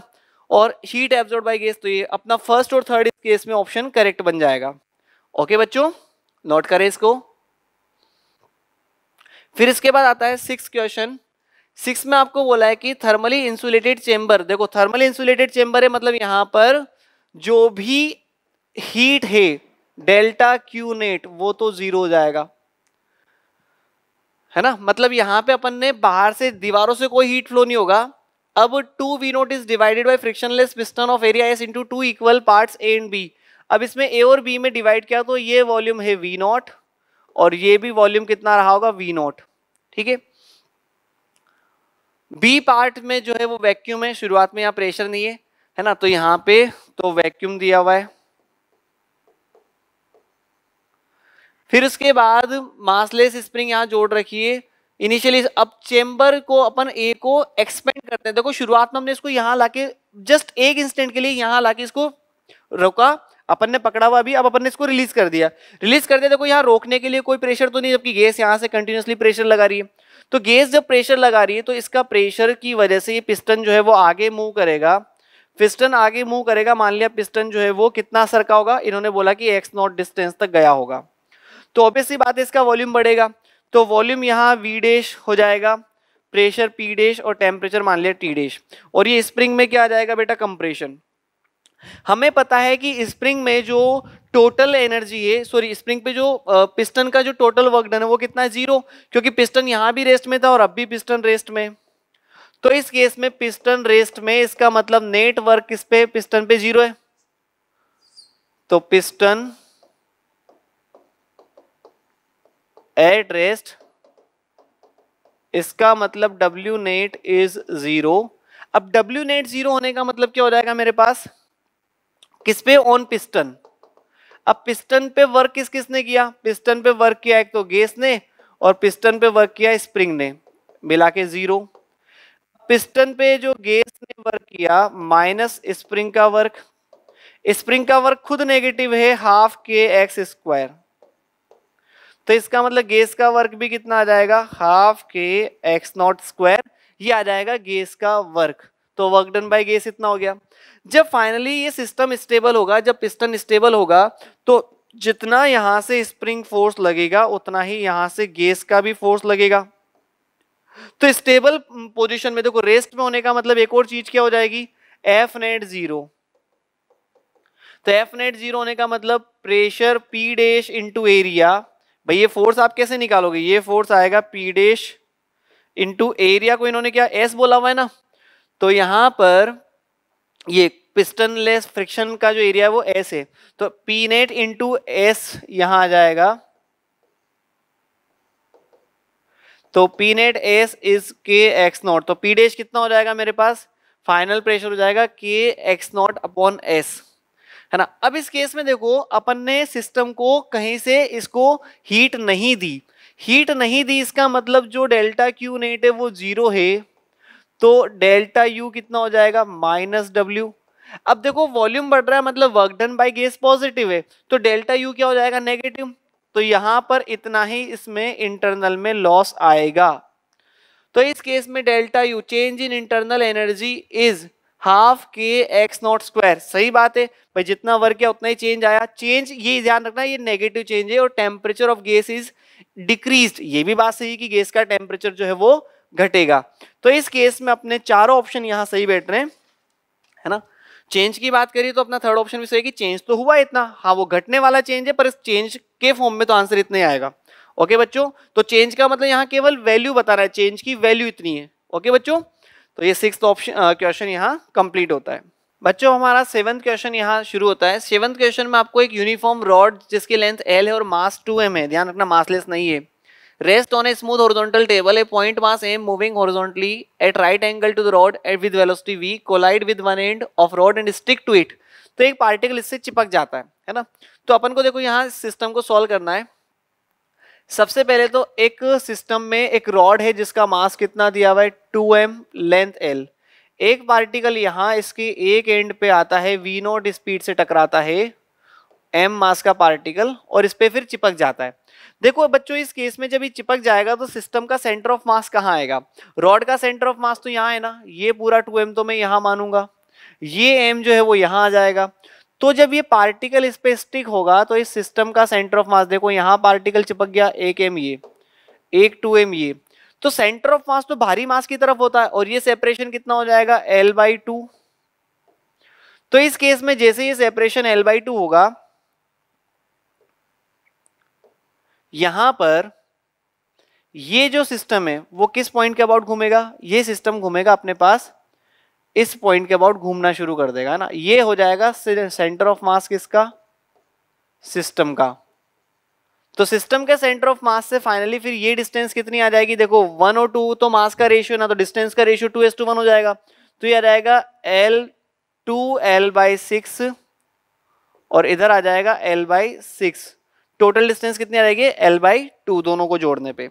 अब सबसे पहले आपको यहाँ पर एंगुलर मोमेंटम कंजर्वेशन की इक्वेशन लगा रही है तो L initial equals to L final L initial देखो सबसे पहले सिस्टम का जो फाइनल आई है ना, वो आई कितना आएगा? सिस्टम का फाइनल आई जो आएगा, वो आएगा मेरे पास m two L square by six देखो इस पॉइंट का अबाउट रोटेशन हो रहा है, इसी के अबाउट आपको मोमेंट ऑफ़ इनर्शिया बताना है। तो इस पॉइंट के अबाउट मोमेंट ऑफ़ इनर्शिया बताने के लिए टू एल बाई सिक्स का स्क्वायर अब रॉड का कैसे बताओगे? Two m L square by twelve plus two m into d square ये डी कितना है? एल बाई सिक्स तो ये आ जाएगा मेरे पास m L square by nine m L square by six m L square by eighteen तो यहाँ देखो एटीन एलसीएम आएगा तो ये आएगा दो प्लस तीन प्लस एक। एम एल स्क्वायर तो ये आ जाएगा moment of inertia m L square by six ये तो सिस्टम का फाइनल इनर्शिया अब एल इनिशियल कितना है मेरे पास? एल इनिशियल है एम वी नॉट एल अब इनिशियल मोमेंट हो जाएगा m v naught L by two L by six और फाइनल मोमेंट हो जाएगा आई इन टू ओमेगा तो m v naught two L by six I हो जाएगा m L square by six omega. तो ये एल से तो एल खत्म, सिक्स से सिक्स खत्म तो ओमेगा हो जाएगा मेरे पास, एम से एम खत्म। कितना हो गया बेटा ओमेगा यहाँ पर ओमेगा आ जाएगा मेरे पास two v naught upon L. तो ओमेगा इस केस में आ जाएगा two v naught upon L. एक बार देखें कैलकुलेशन को तो m v naught L by three m L square by यहाँ पे तो सॉरी सिक्स नहीं आएगा थ्री आएगा बेटा। तो यहाँ पर थ्री आते ही अपना ये जो है थ्री से ये थ्री पूरा कट जाएगा तो यहाँ पर आ जाएगा वी बाई ट्वेल्व ओके तो v बाई ट्वेल्व अपनी एंगुलर स्पीड आ रही है तो एंगुलर स्पीड तो कितनी आ जाएगी इस केस में? v बाई एल आ रही है तो फ़र्स्ट ऑप्शन एंगुलर स्पीड का करेक्ट हो जाएगा। इसके बाद आपको क्या पूछा इन्होंने? एक तो एंगुलर स्पीड और loss in kinetic energy of whole system as result of collision is अब कोलिजन की वजह से कितना इसमें लॉस होगा काइनेटिक एनर्जी का? तो देखो काइनेटिक एनर्जी अब यहाँ पर देखो, सबसे पहले इनिशियल काइनेटिक एनर्जी कितनी थी? इनिशियल काइनेटिक एनर्जी थी मेरे पास केवल half m v square particle की। फाइनल काइनेटिक एनर्जी कितनी हो जाएगी? फाइनल काइनेटिक एनर्जी में देखो, एक तो लीनियर मोमेंटम कंजर्वेशन लगाओगे तो इनिशियल मोमेंटम में एम वी फाइनल मोमेंटम भी उतना ही होना चाहिए। तो फाइनली सिस्टम का मास कितना है? Two m plus m v dash is m v naught तो वी डेश कितना हो जाएगा? वी नॉट बाई थ्री तो यहाँ पे फाइनल काइनेटिक एनर्जी में दोनों तरह की एनर्जी आएगी ट्रांसलेशनल और रोटेशनल तो ट्रांसलेशनल एनर्जी कितनी हो जाएगी? Half three m v naught by three square plus rotational energy कितनी आएगी? हाफ़ आई ओमेगा स्क्वायर तो half m L square by three omega square omega कितना आ जाएगा अपना? ये ओमेगा आ जाएगा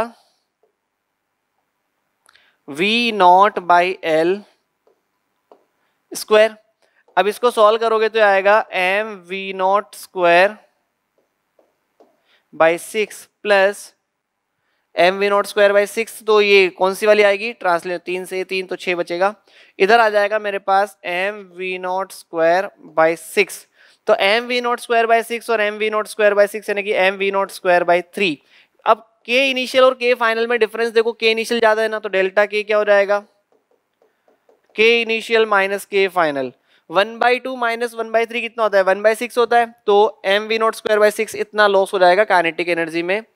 तो m v naught square by six ये पूरे सिस्टम की एनर्जी का लॉस आ जाएगा।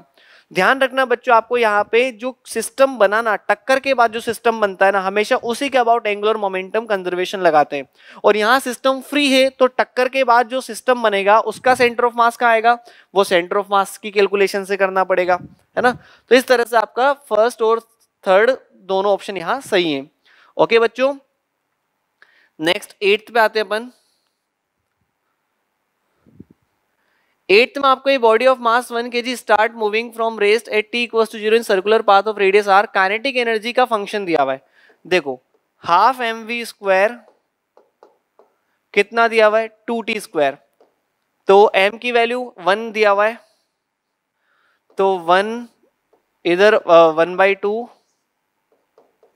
one v square is two t square तो v आ जाएगा यहाँ पर टू टी ठीक है? वेलोसिटी टू टी आते ही अब आपके पास देखो टेंजेंशियल एक्सेलरेशन क्या हो जाएगा? dv बाई डी टी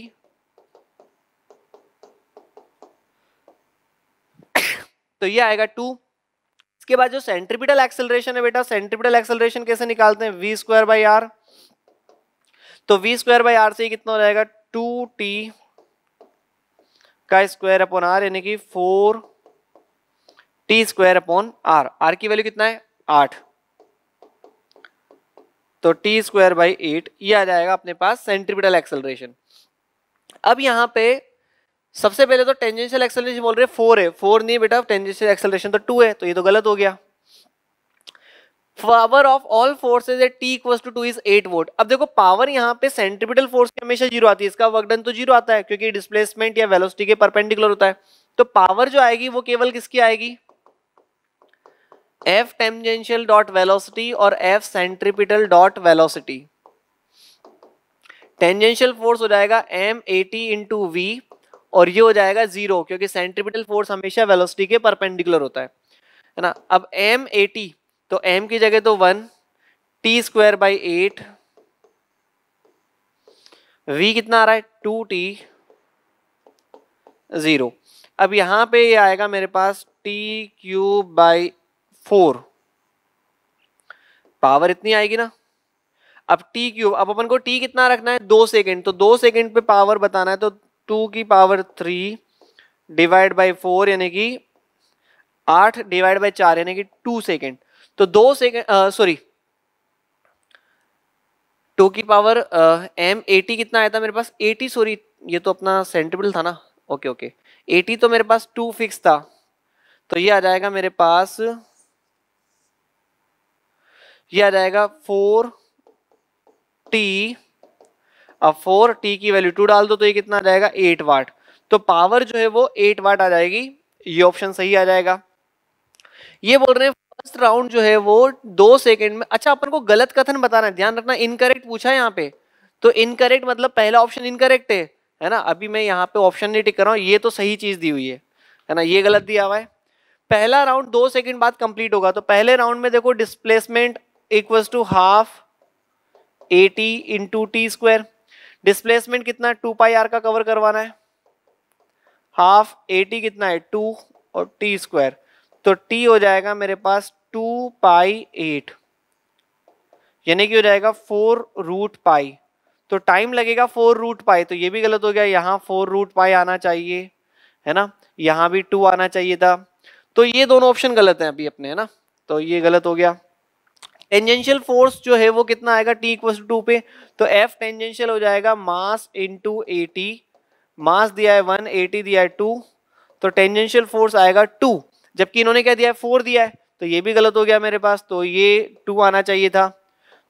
अब इन्होंने गलत पूछे कि गलत ऑप्शन कौन सा है? तो फ़र्स्ट गलत है थर्ड गलत है फोर्थ गलत है तो फ़र्स्ट थर्ड फोर्थ गलत है, इसीलिए सही है है ना? क्योंकि गलत चीज़ें पूछी थी उन्होंने अगला आता अपना एट्थ के बाद नाइन्थ क्वेश्चन नाइन्थ क्वेश्चन में आपको बोला है smooth sphere and B of mass four k g and eight k g move with velocities nine and 3 in opposite direction. If A rebounds with velocity 1 meter per second after head-on collision with B, है ना? तो यहाँ पे थोड़ा सा यहाँ system अपन draw कर देते हैं। फोर के का ऑब्जेक्ट जो है वो नौ की स्पीड से जा रहा है। आठ किलो का ऑब्जेक्ट जो है वो अपोजिट डायरेक्शन में थ्री की स्पीड से आ रहा है। ठीक है? अब इसके बाद ये बोल रहे हैं कि A rebounds one second one metre per second तो ये वन से रिबाउंड हुआ ए आफ्टर कोलिजन तो बी की स्पीड क्या होगी? चलो, पहले तो बी की स्पीड पता करते हैं। मान लिया वी रही होगी। तो पी इनिशियल और पी फाइनल सेम होना चाहिए। तो nine into four eight into minus three four into minus one और एट इंटू वी डेश या वी है ना? तो यहाँ पर ये हो जाएगा मेरे पास नौ चौक छत्तीस और आठ चौबीस बारह तो बारह में से आप दो आ गया दो बारह, चार, सोलह डिवाइड बाई टू आ जाएगा। तो वेलोसिटी ऑफ़ स्पेयर भी आफ्टर इम्पैक्ट इज़ टू सही बात है। ई e की वैल्यू बताना है तो ई e की वैल्यू होती है v separation by u approach v separation कितना हो जाएगा मेरे पास? V minus minus one upon nine ये नाइन है ना? माइनस माइनस थ्री तो ये जाएगा two minus of minus one nine plus three तो टू प्लस थ्री तो three by twelve one by four तो वन बाई फोर हो जाएगा मेरे पास कॉफिशियंट ऑफ़ इम्पैक्ट या जो कॉफिशियंट ऑफ़ रेस्टिट्यूशन जिसको आप बोलते हो, है ना? लॉस इन काइनेटिक एनर्जी अब सिस्टम की इनिशियल काइनेटिक एनर्जी निकाल लेते हैं। तो सिस्टम की इनिशियल काइनेटिक एनर्जी कितनी आ जाएगी मेरे पास? हाफ़ फोर नाइन स्क्वायर तो नाइन स्क्वायर का eighty one into two one sixty two है ना? Plus half eight three square तो चार और नौ चौक छत्तीस तो ये कितना आ जाएगा? ये आ जाएगा वन नाइनटी एट तो वन नाइनटी एट तो इनिशियल एनर्जी फाइनल एनर्जी कैसे निकालोगे? फाइनल एनर्जी के लिए देखो आपको लिखना पड़ेगा हाफ़ चार वन स्क्वायर प्लस हाफ़ आठ टू स्क्वायर तो ये हो जाएगा आठ और दो सोलह और दो अठारह. तो अठारह जूल फाइनल एनर्जी अब देखो 198 इनिशियल और फाइनल है 18 तो डिफरेंस कितना आ रहा है? 180 का इतना लॉस हो गया. तो इस केस में लॉस जो है वो 180 का हो रहा है. फ़र्स्ट सेकंड थर्ड यहाँ पर तीनों ऑप्शन जो है वो अपने करेक्ट हो जाएँगे. ओके बच्चों? इसके बाद आता है अपने पास टेंथ क्वेश्चन टेंथ क्वेश्चन पे देखते क्या है?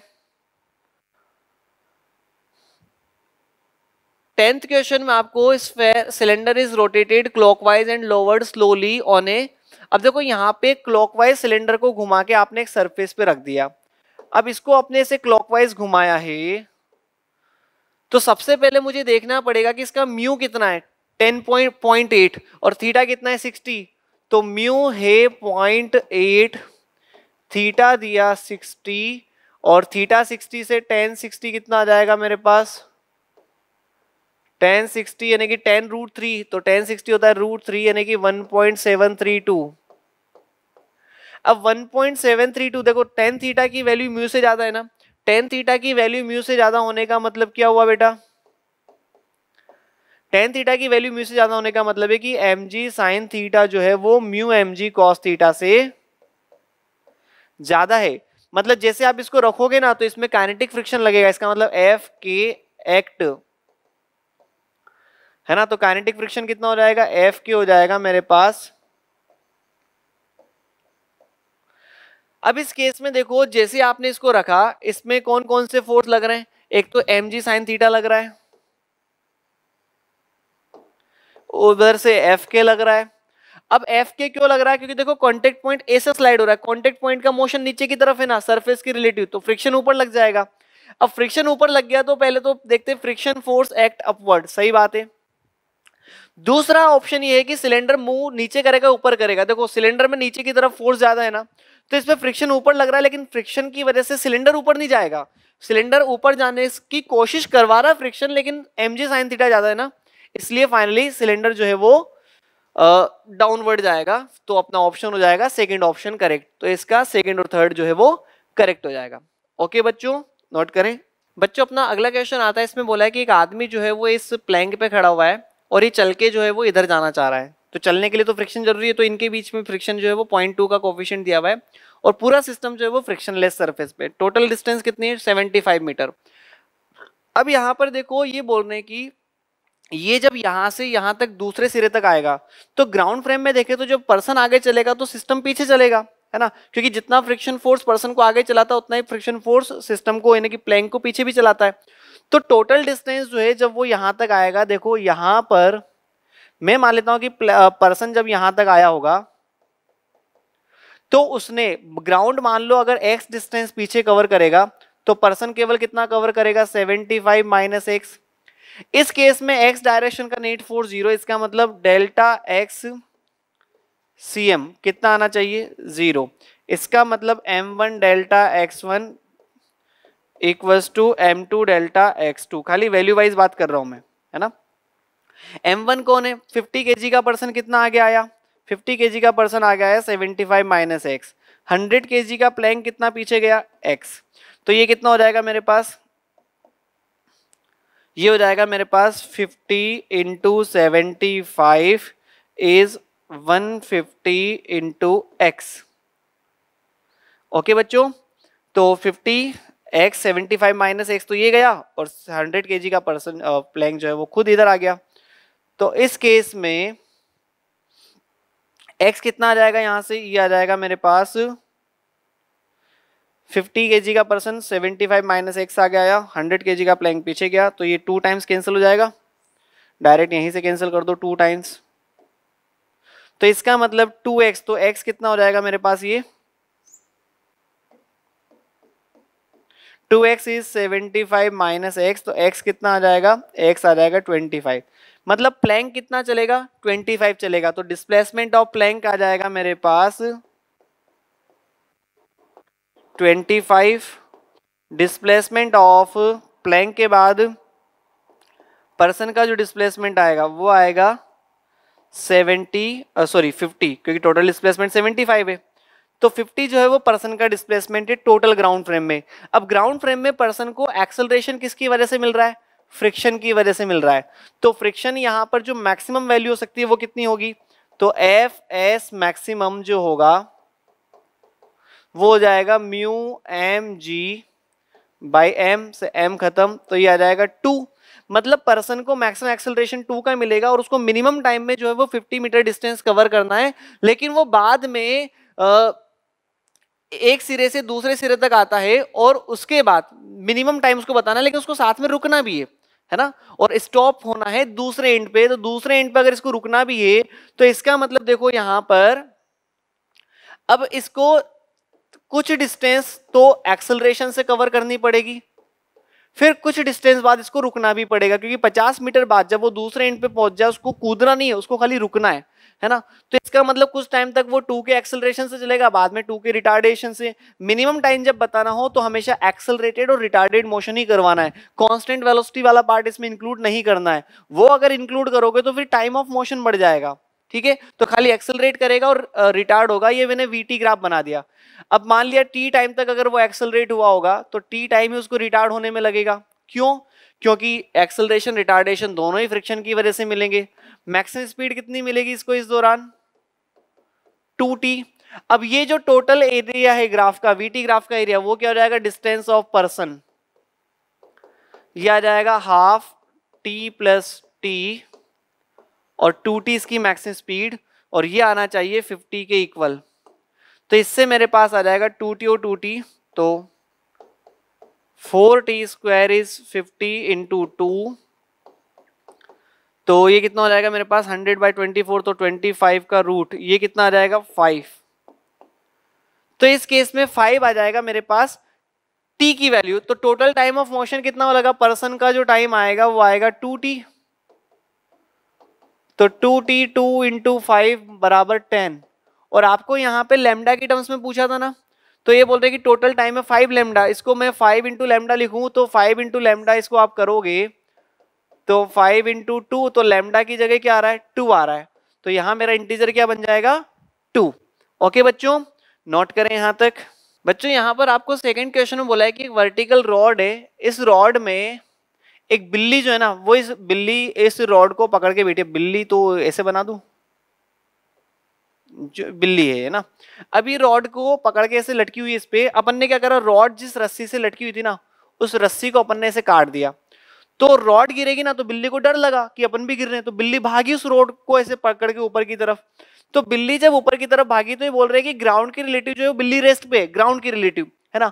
तो देखो ग्राउंड के रिलेटिव अगर बिल्ली रेस्ट पे है तो ये बिल्ली के लिए इसको रेस पे रखने के लिए कोई तो फोर्स ऊपर की तरफ़ लगना चाहिए। बिल्ली का M G M G cat उसको कोई तो बैलेंस करेगा। वो कौन सा फोर्स होगा बेटा? फ्रिक्शन फोर्स क्योंकि फ्रिक्शन जो रॉड और बिल्ली की देखो अपन चलते हैं ना। बिल्ली भी जब ऐसे हाथ से यूँ करेगी ना तो फ्रिक्शन की वजह से उसको बैलेंस कर पाएगी खुद को। तो यहाँ पे एफ़ एस जो है वो, अब बिल्ली रेस्ट पे केट एट रेस्ट इसका मतलब एफ़ एस जो है वो एम जी जो केट का है, उसको बैलेंस करेगा। तो एम कितना बेटा? तीन किलो की बिल्ली तो बहुत ही हल्की बिल्ली है तू। तीस तो आ जाएगा एफ़ एस और रॉड कितने किलो की? रॉड भी चार किलो की है। अब देखो, रॉड पे खुद का एमजी लग रहा है। अब एफ़ एस अगर बिल्ली पे ऊपर लगा तो इस पे किधर लगेगा? नीचे।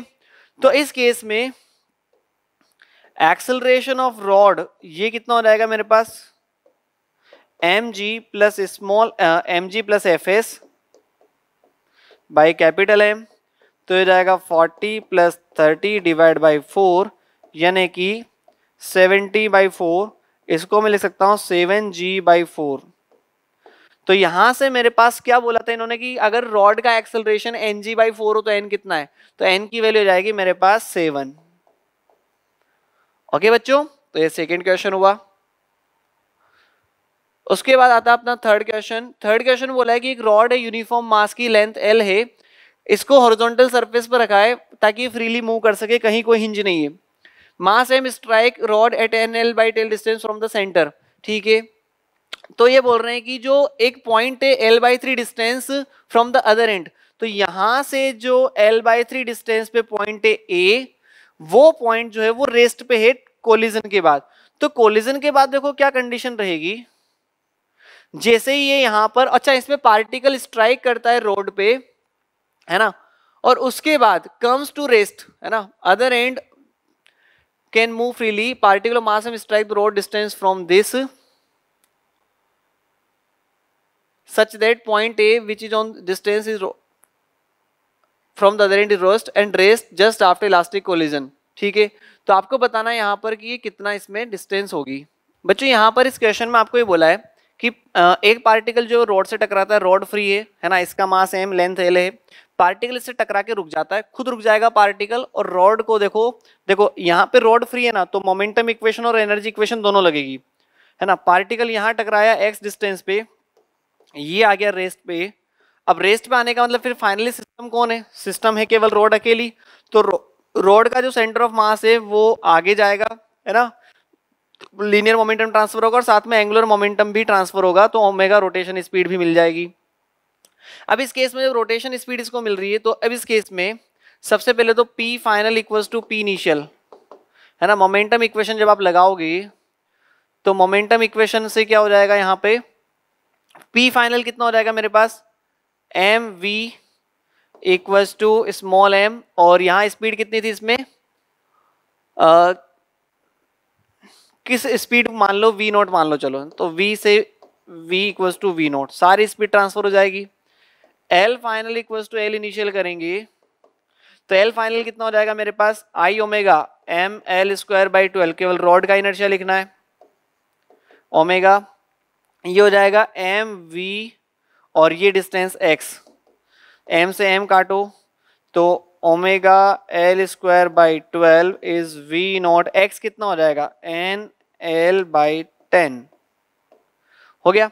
तो इससे ये एक एल से एक एल कट जाएगा तो ओमेगा कितना आ जाएगा मेरे पास? ओमेगा आ जाएगा six by five N V nought upon L ये तो आ गया ओमेगा की वैल्यू अब देखो यहाँ पे बोल रहे हैं कि ए पॉइंट रेस्ट पे, जब को मोशन ऐसे हो रहा है वी तो ये रोटेशन स्पीड ट्रांसलेशन स्पीड तो सारे पार्टिकल्स को मिलती है ना।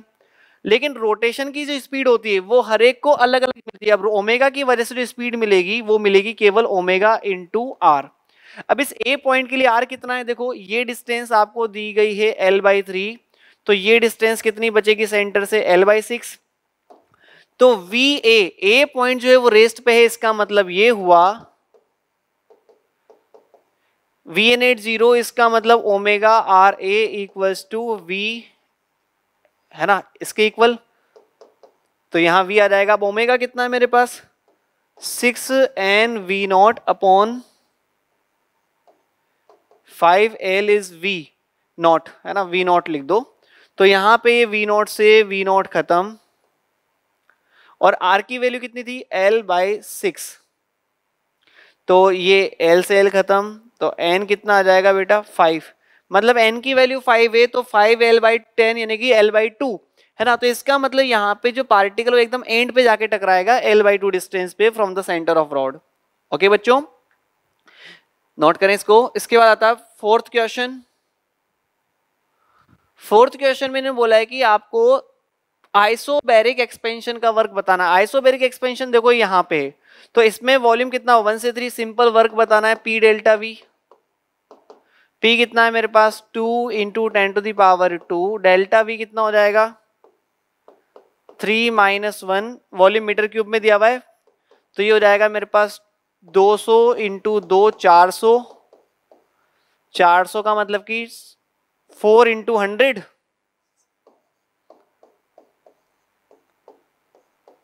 तो फोर इंटू हंड्रेड मतलब वाई की वैल्यू कितनी हो जाएगी बेटा? फोर। तो वाई हो जाएगा यहाँ पर फोर।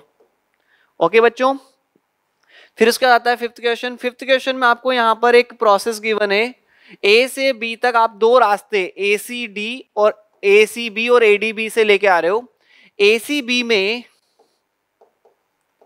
आपने क्या किया? कुछ वर्क किया होगा और कुछ एनर्जी दी होगी। 60 जूल एनर्जी दी। वर्क किया 30 जूल तो डेल्टा यू भी कितना हुआ? 30 जूल होगा।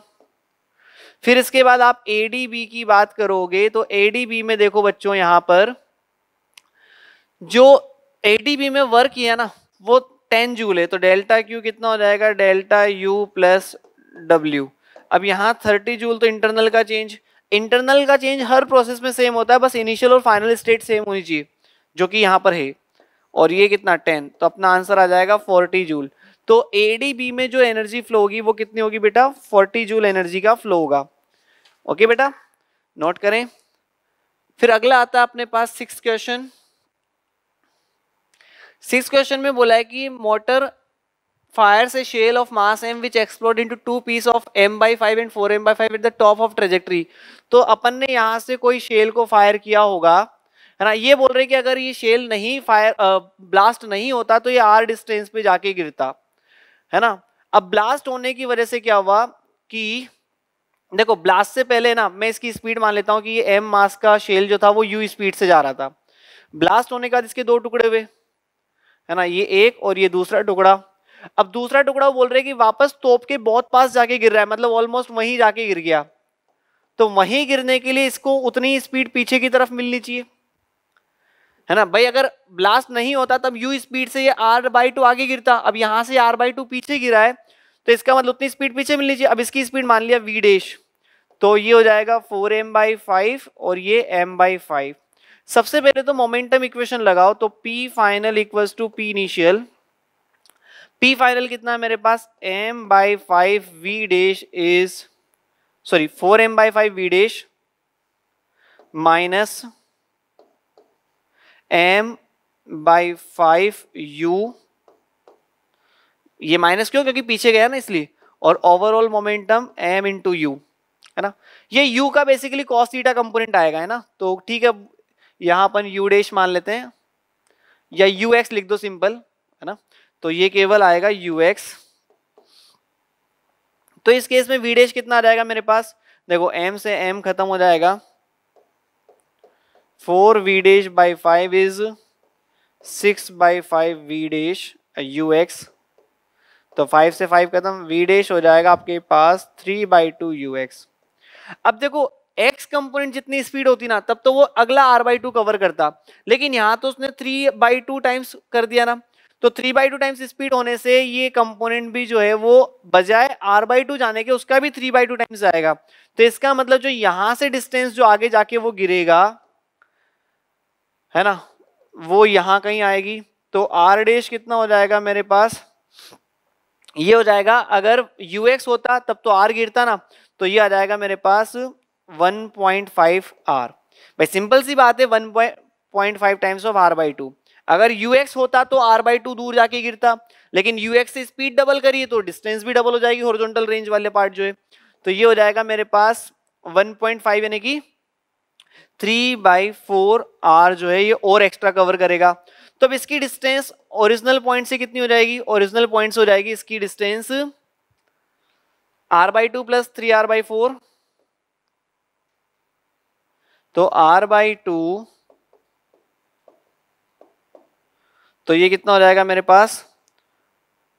Two plus three R by five. तो ये हो जाएगा मेरे पास, सॉरी, फोर। तो फाइव आर बाई फोर। तो यहाँ पर एक्स की वैल्यू कितनी आ जाएगी मेरे पास? एक्स की वैल्यू जाएगी फाइव आर बाई फोर। या तो आप प्रोजेक्टाइल के कंसेप्ट लगा दो, या फिर ऐसे लगा दो कि जो एक्स कोऑर्डिनेट है सेंटर ऑफ़ मास का वो वहीं रहेगा जहाँ पहले होता। मतलब टक्कर से पहले अगर ब्लास्ट नहीं होता तो जहाँ सेंटर ऑफ़ मास का कोऑर्डिनेट होता, वहीं अब भी आ जाएगा। तो आप चाहो तो इस कंसेप्ट में यहाँ आर रखो एम वन को रख दो एम बाई फाइव इसका कोऑर्डिनेट हो जाएगा zero four M by five का कोऑर्डिनेट एक्स टू और डिवाइड बाई एम इसको सॉल्व कर लो तो भी आपका आंसर बन जाएगा, कोई दिक्कत नहीं, इसका सेकेंड तरीका है। तो ये मेथड टू और ये मेथड वन प्रोजेक्टल का कंसेप्ट ओके बच्चों तो जिससे करना चाहो कर लो, कोई दिक्कत नहीं। फाइव आर बाई फोर दोनों में आ जाएगा। फिर आता है अपना next seventh question seven question बोला है particle is performing circular motion of radius one metre its speed is V two T square तो v जो है, वो टू टी स्क्वायर दिया हुआ है। तो टू टी कितना हो जाएगा? ए टी कितना हो जाएगा? D V by D T तो टी स्क्वायर टू टी और टू टी तो फोर टी अब ए सी कितना हो जाएगा? ए सी हो जाएगा V square divide by R तो टू टी स्क्वायर का स्क्वायर अपॉन आर यानी कि फोर टी फोर अब आपसे क्या पूछा है? एक सेकंड पे इसका टोटल एक्सलरेशन बताना है। तो एक second T equals to one पर ए सी कितना हो जाएगा? फोर वन की पावर फोर यानी कि फोर ए टी कितना हो जाएगा? एटी हो जाएगा फोर इंटू वन, यानी कि four. N eight. A c square plus a t square यानी कि फोर का स्क्वायर प्लस फोर का स्क्वायर सिक्सटीन तो सिक्सटीन प्लस सिक्सटीन यानी कि thirty two root thirty two तो एक्स की वैल्यू कितनी रहेगी? रूट थर्टी टू ओके बच्चों? तो एक्स आ जाएगा रूट एक्स की वैल्यू आ जाएगी थर्टी टू फिर इसका आता अपना एट्थ क्वेश्चन एट्थ क्वेश्चन में आपको यहाँ पर देखो, एक सिस्टम को अपन ने इनर्शिया दे दिया. सरफेस फ्रिक्शन लेस इसलिए कोई यहाँ पर फ्रिक्शन नहीं आएगा. दोनों फोर्स एक दूसरे को कैंसिल कर देंगे तो एफ़ नेट कितना आ जाएगा बेटा? एफ़ माइनस एफ़ ज़ीरो तो इसका सेंटर ऑफ़ मास का लीनियर एक्सेलरेशन भी ज़ीरो लेकिन दोनों का टॉर्क ज़ीरो नहीं। देखो, ये वाला फोर्स ज़्यादा डिस्टेंस है ना तो नेट टॉर्क कैसे आएगा। तो नेट टॉर्क हो जाएगा f into two r minus f into r यानी कि एफ़ इंटू आर एल्फा क्या हो जाएगा बेटा? Torque divide by inertia f की वैल्यू कितनी है आपको? टेन दी गई है। आर की वैल्यू कितनी है? वन दी गई है और इनर्शिया दिया गया फोर तो इनर्शिया हो जाएगा मेरे पास फोर यानी कि ये एक्सलरेशन हो जाएगा फाइव बाई टू क्या बोल रहे हैं कि दो सेकंड बाद काइनेटिक एनर्जी बताओ तो काइनेटिक एनर्जी केवल कौन सी मिलेगी इसको रोटेशन वाली? Kinetic energy translation plus kinetic energy rotation translation energy नहीं मिलेगी क्योंकि एक्सलरेशन ज़ीरो इसका मतलब वी भी हमेशा ज़ीरो ही आएगा, जबकि ओमेगा कैसे निकालोगे आप? ज़ीरो प्लस एल्फा टी तो ये जाएगा फाइव बाई टू टी तो zero plus half I omega square. तो हाफ़ आई की वैल्यू चार, ओमेगा कितना है? Five by two t t की वैल्यू टू सेकेंड। तो फाइव का स्क्वायर पच्चीस, दो इंटू पच्चीस, ये कितना हो जाएगा मेरे पास? फिफ्टी। फिफ्टी यानी कि पच्चीस एक्स तो एक्स की वैल्यू कितनी जाएगी मेरे पास? फिफ्टी हो जाएगी। सॉरी एक्स की वैल्यू जाएगी टू। ठीक है तो एट का आंसर आ जाएगा इस केस में। ओके बच्चों, आते अपन नेक्स्ट नाइन्थ क्वेश्चन पे। नाइन्थ क्वेश्चन बोल रहे हैं कि ऑब्जेक्ट ए बी सी जो है वो फ्रिक्शनलेस सरफेस पे है mass m two m three m है और ऑब्जेक्ट ए जो है वो नाइन की स्पीड से मूव करता है हेड ऑन कोलिजन करता है तो फिर बी बाद में कंप्लीट इनलास्टिक कोलिजन करता है। देखो, सबसे पहले हेड ऑन कोलिजन इनकी होगी ना तो इस एम और इस टू एम की स्पीड निकालते हैं। ये मान लेता हूँ वी वन है और ये मान लेता हूँ वी टू है। ये इलास्टिक कोलिजन है ना? तो सबसे पहले पी इक्वेशन लगाओ। तो m into nine m into v one plus two m into v two तो v one plus two v two is nine पहली इक्वेशन तो ये। फिर दूसरा स्मॉल इक्वेशन लगाओ तो v two minus v one upon approach speed तो v two minus v one कितना हो जाएगा? ये हो जाएगा nine v two minus v one upon nine is one elastic collision थी, और इधर हो जाएगा v two one plus two v two is nine m से एम कट गया, ठीक है?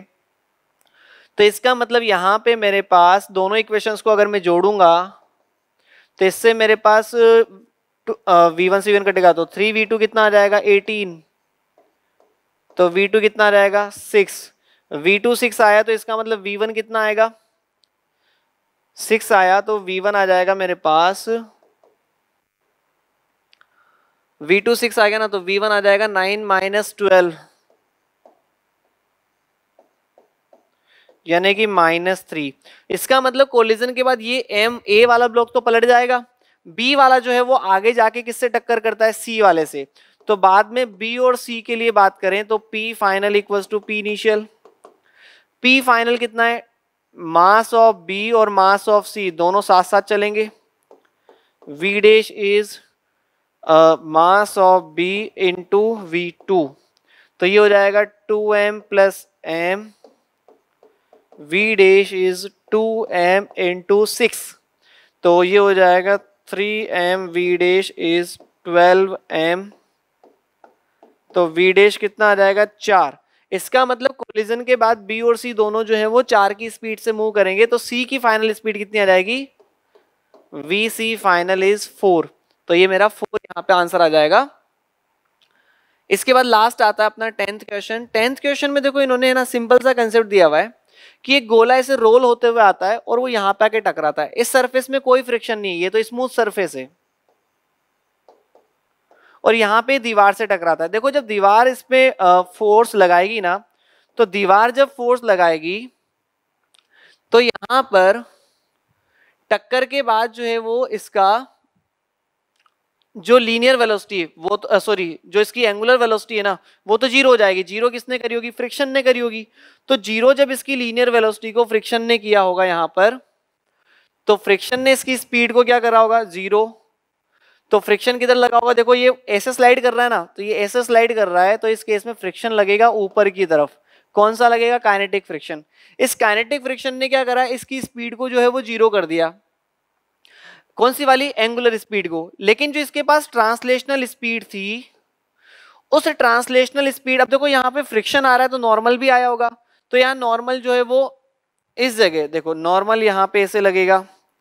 अब ये नॉर्मल की वजह से देखो यहाँ पे एक जो ऑब्जेक्ट है ना, वो तो काफ़ी बड़ा दीवार तो काफ़ी बड़ी है ना तो दीवार की स्पीड में तो कोई चेंज नहीं होगा। ऑब्जेक्ट जो है वो उसी स्पीड से वापस पलट जाएगा। भारी ऑब्जेक्ट से जब कोई हल्का ऑब्जेक्ट टकराए तो उस केस में एज इट इज़ वो पलटेगा। तो यहाँ पे ये ऑब्जेक्ट जो है, इसका आपको क्या बताना है? रेखी वेग बताना है। तो रेखी वेग यानी कि लीनियर वेलोसिटी में कोई चेंज नहीं आएगा। क्यों? क्योंकि सॉरी स्पीड में कोई चेंज नहीं आएगा। वेलोसिटी तो चेंज होगी डायरेक्शन वाइज लेकिन ये उतनी ही स्पीड से वापस जो है वो पलट भी जाएगा वी नॉट स्पीड से। क्योंकि भारी ऑब्जेक्ट से कोई हल्का ऑब्जेक्ट टकराए तो भारी ऑब्जेक्ट को कुछ नहीं होगा। ये जितनी स्पीड से आए, उतनी स्पीड से वापस पलट के चला जाएगा। तो टोटल स्पीड फाइनल कितनी आएगी? वी नोट तो एन की वैल्यू कितनी रखेंगे? फाइव रखेंगे तो वी नोट आ जाएगा।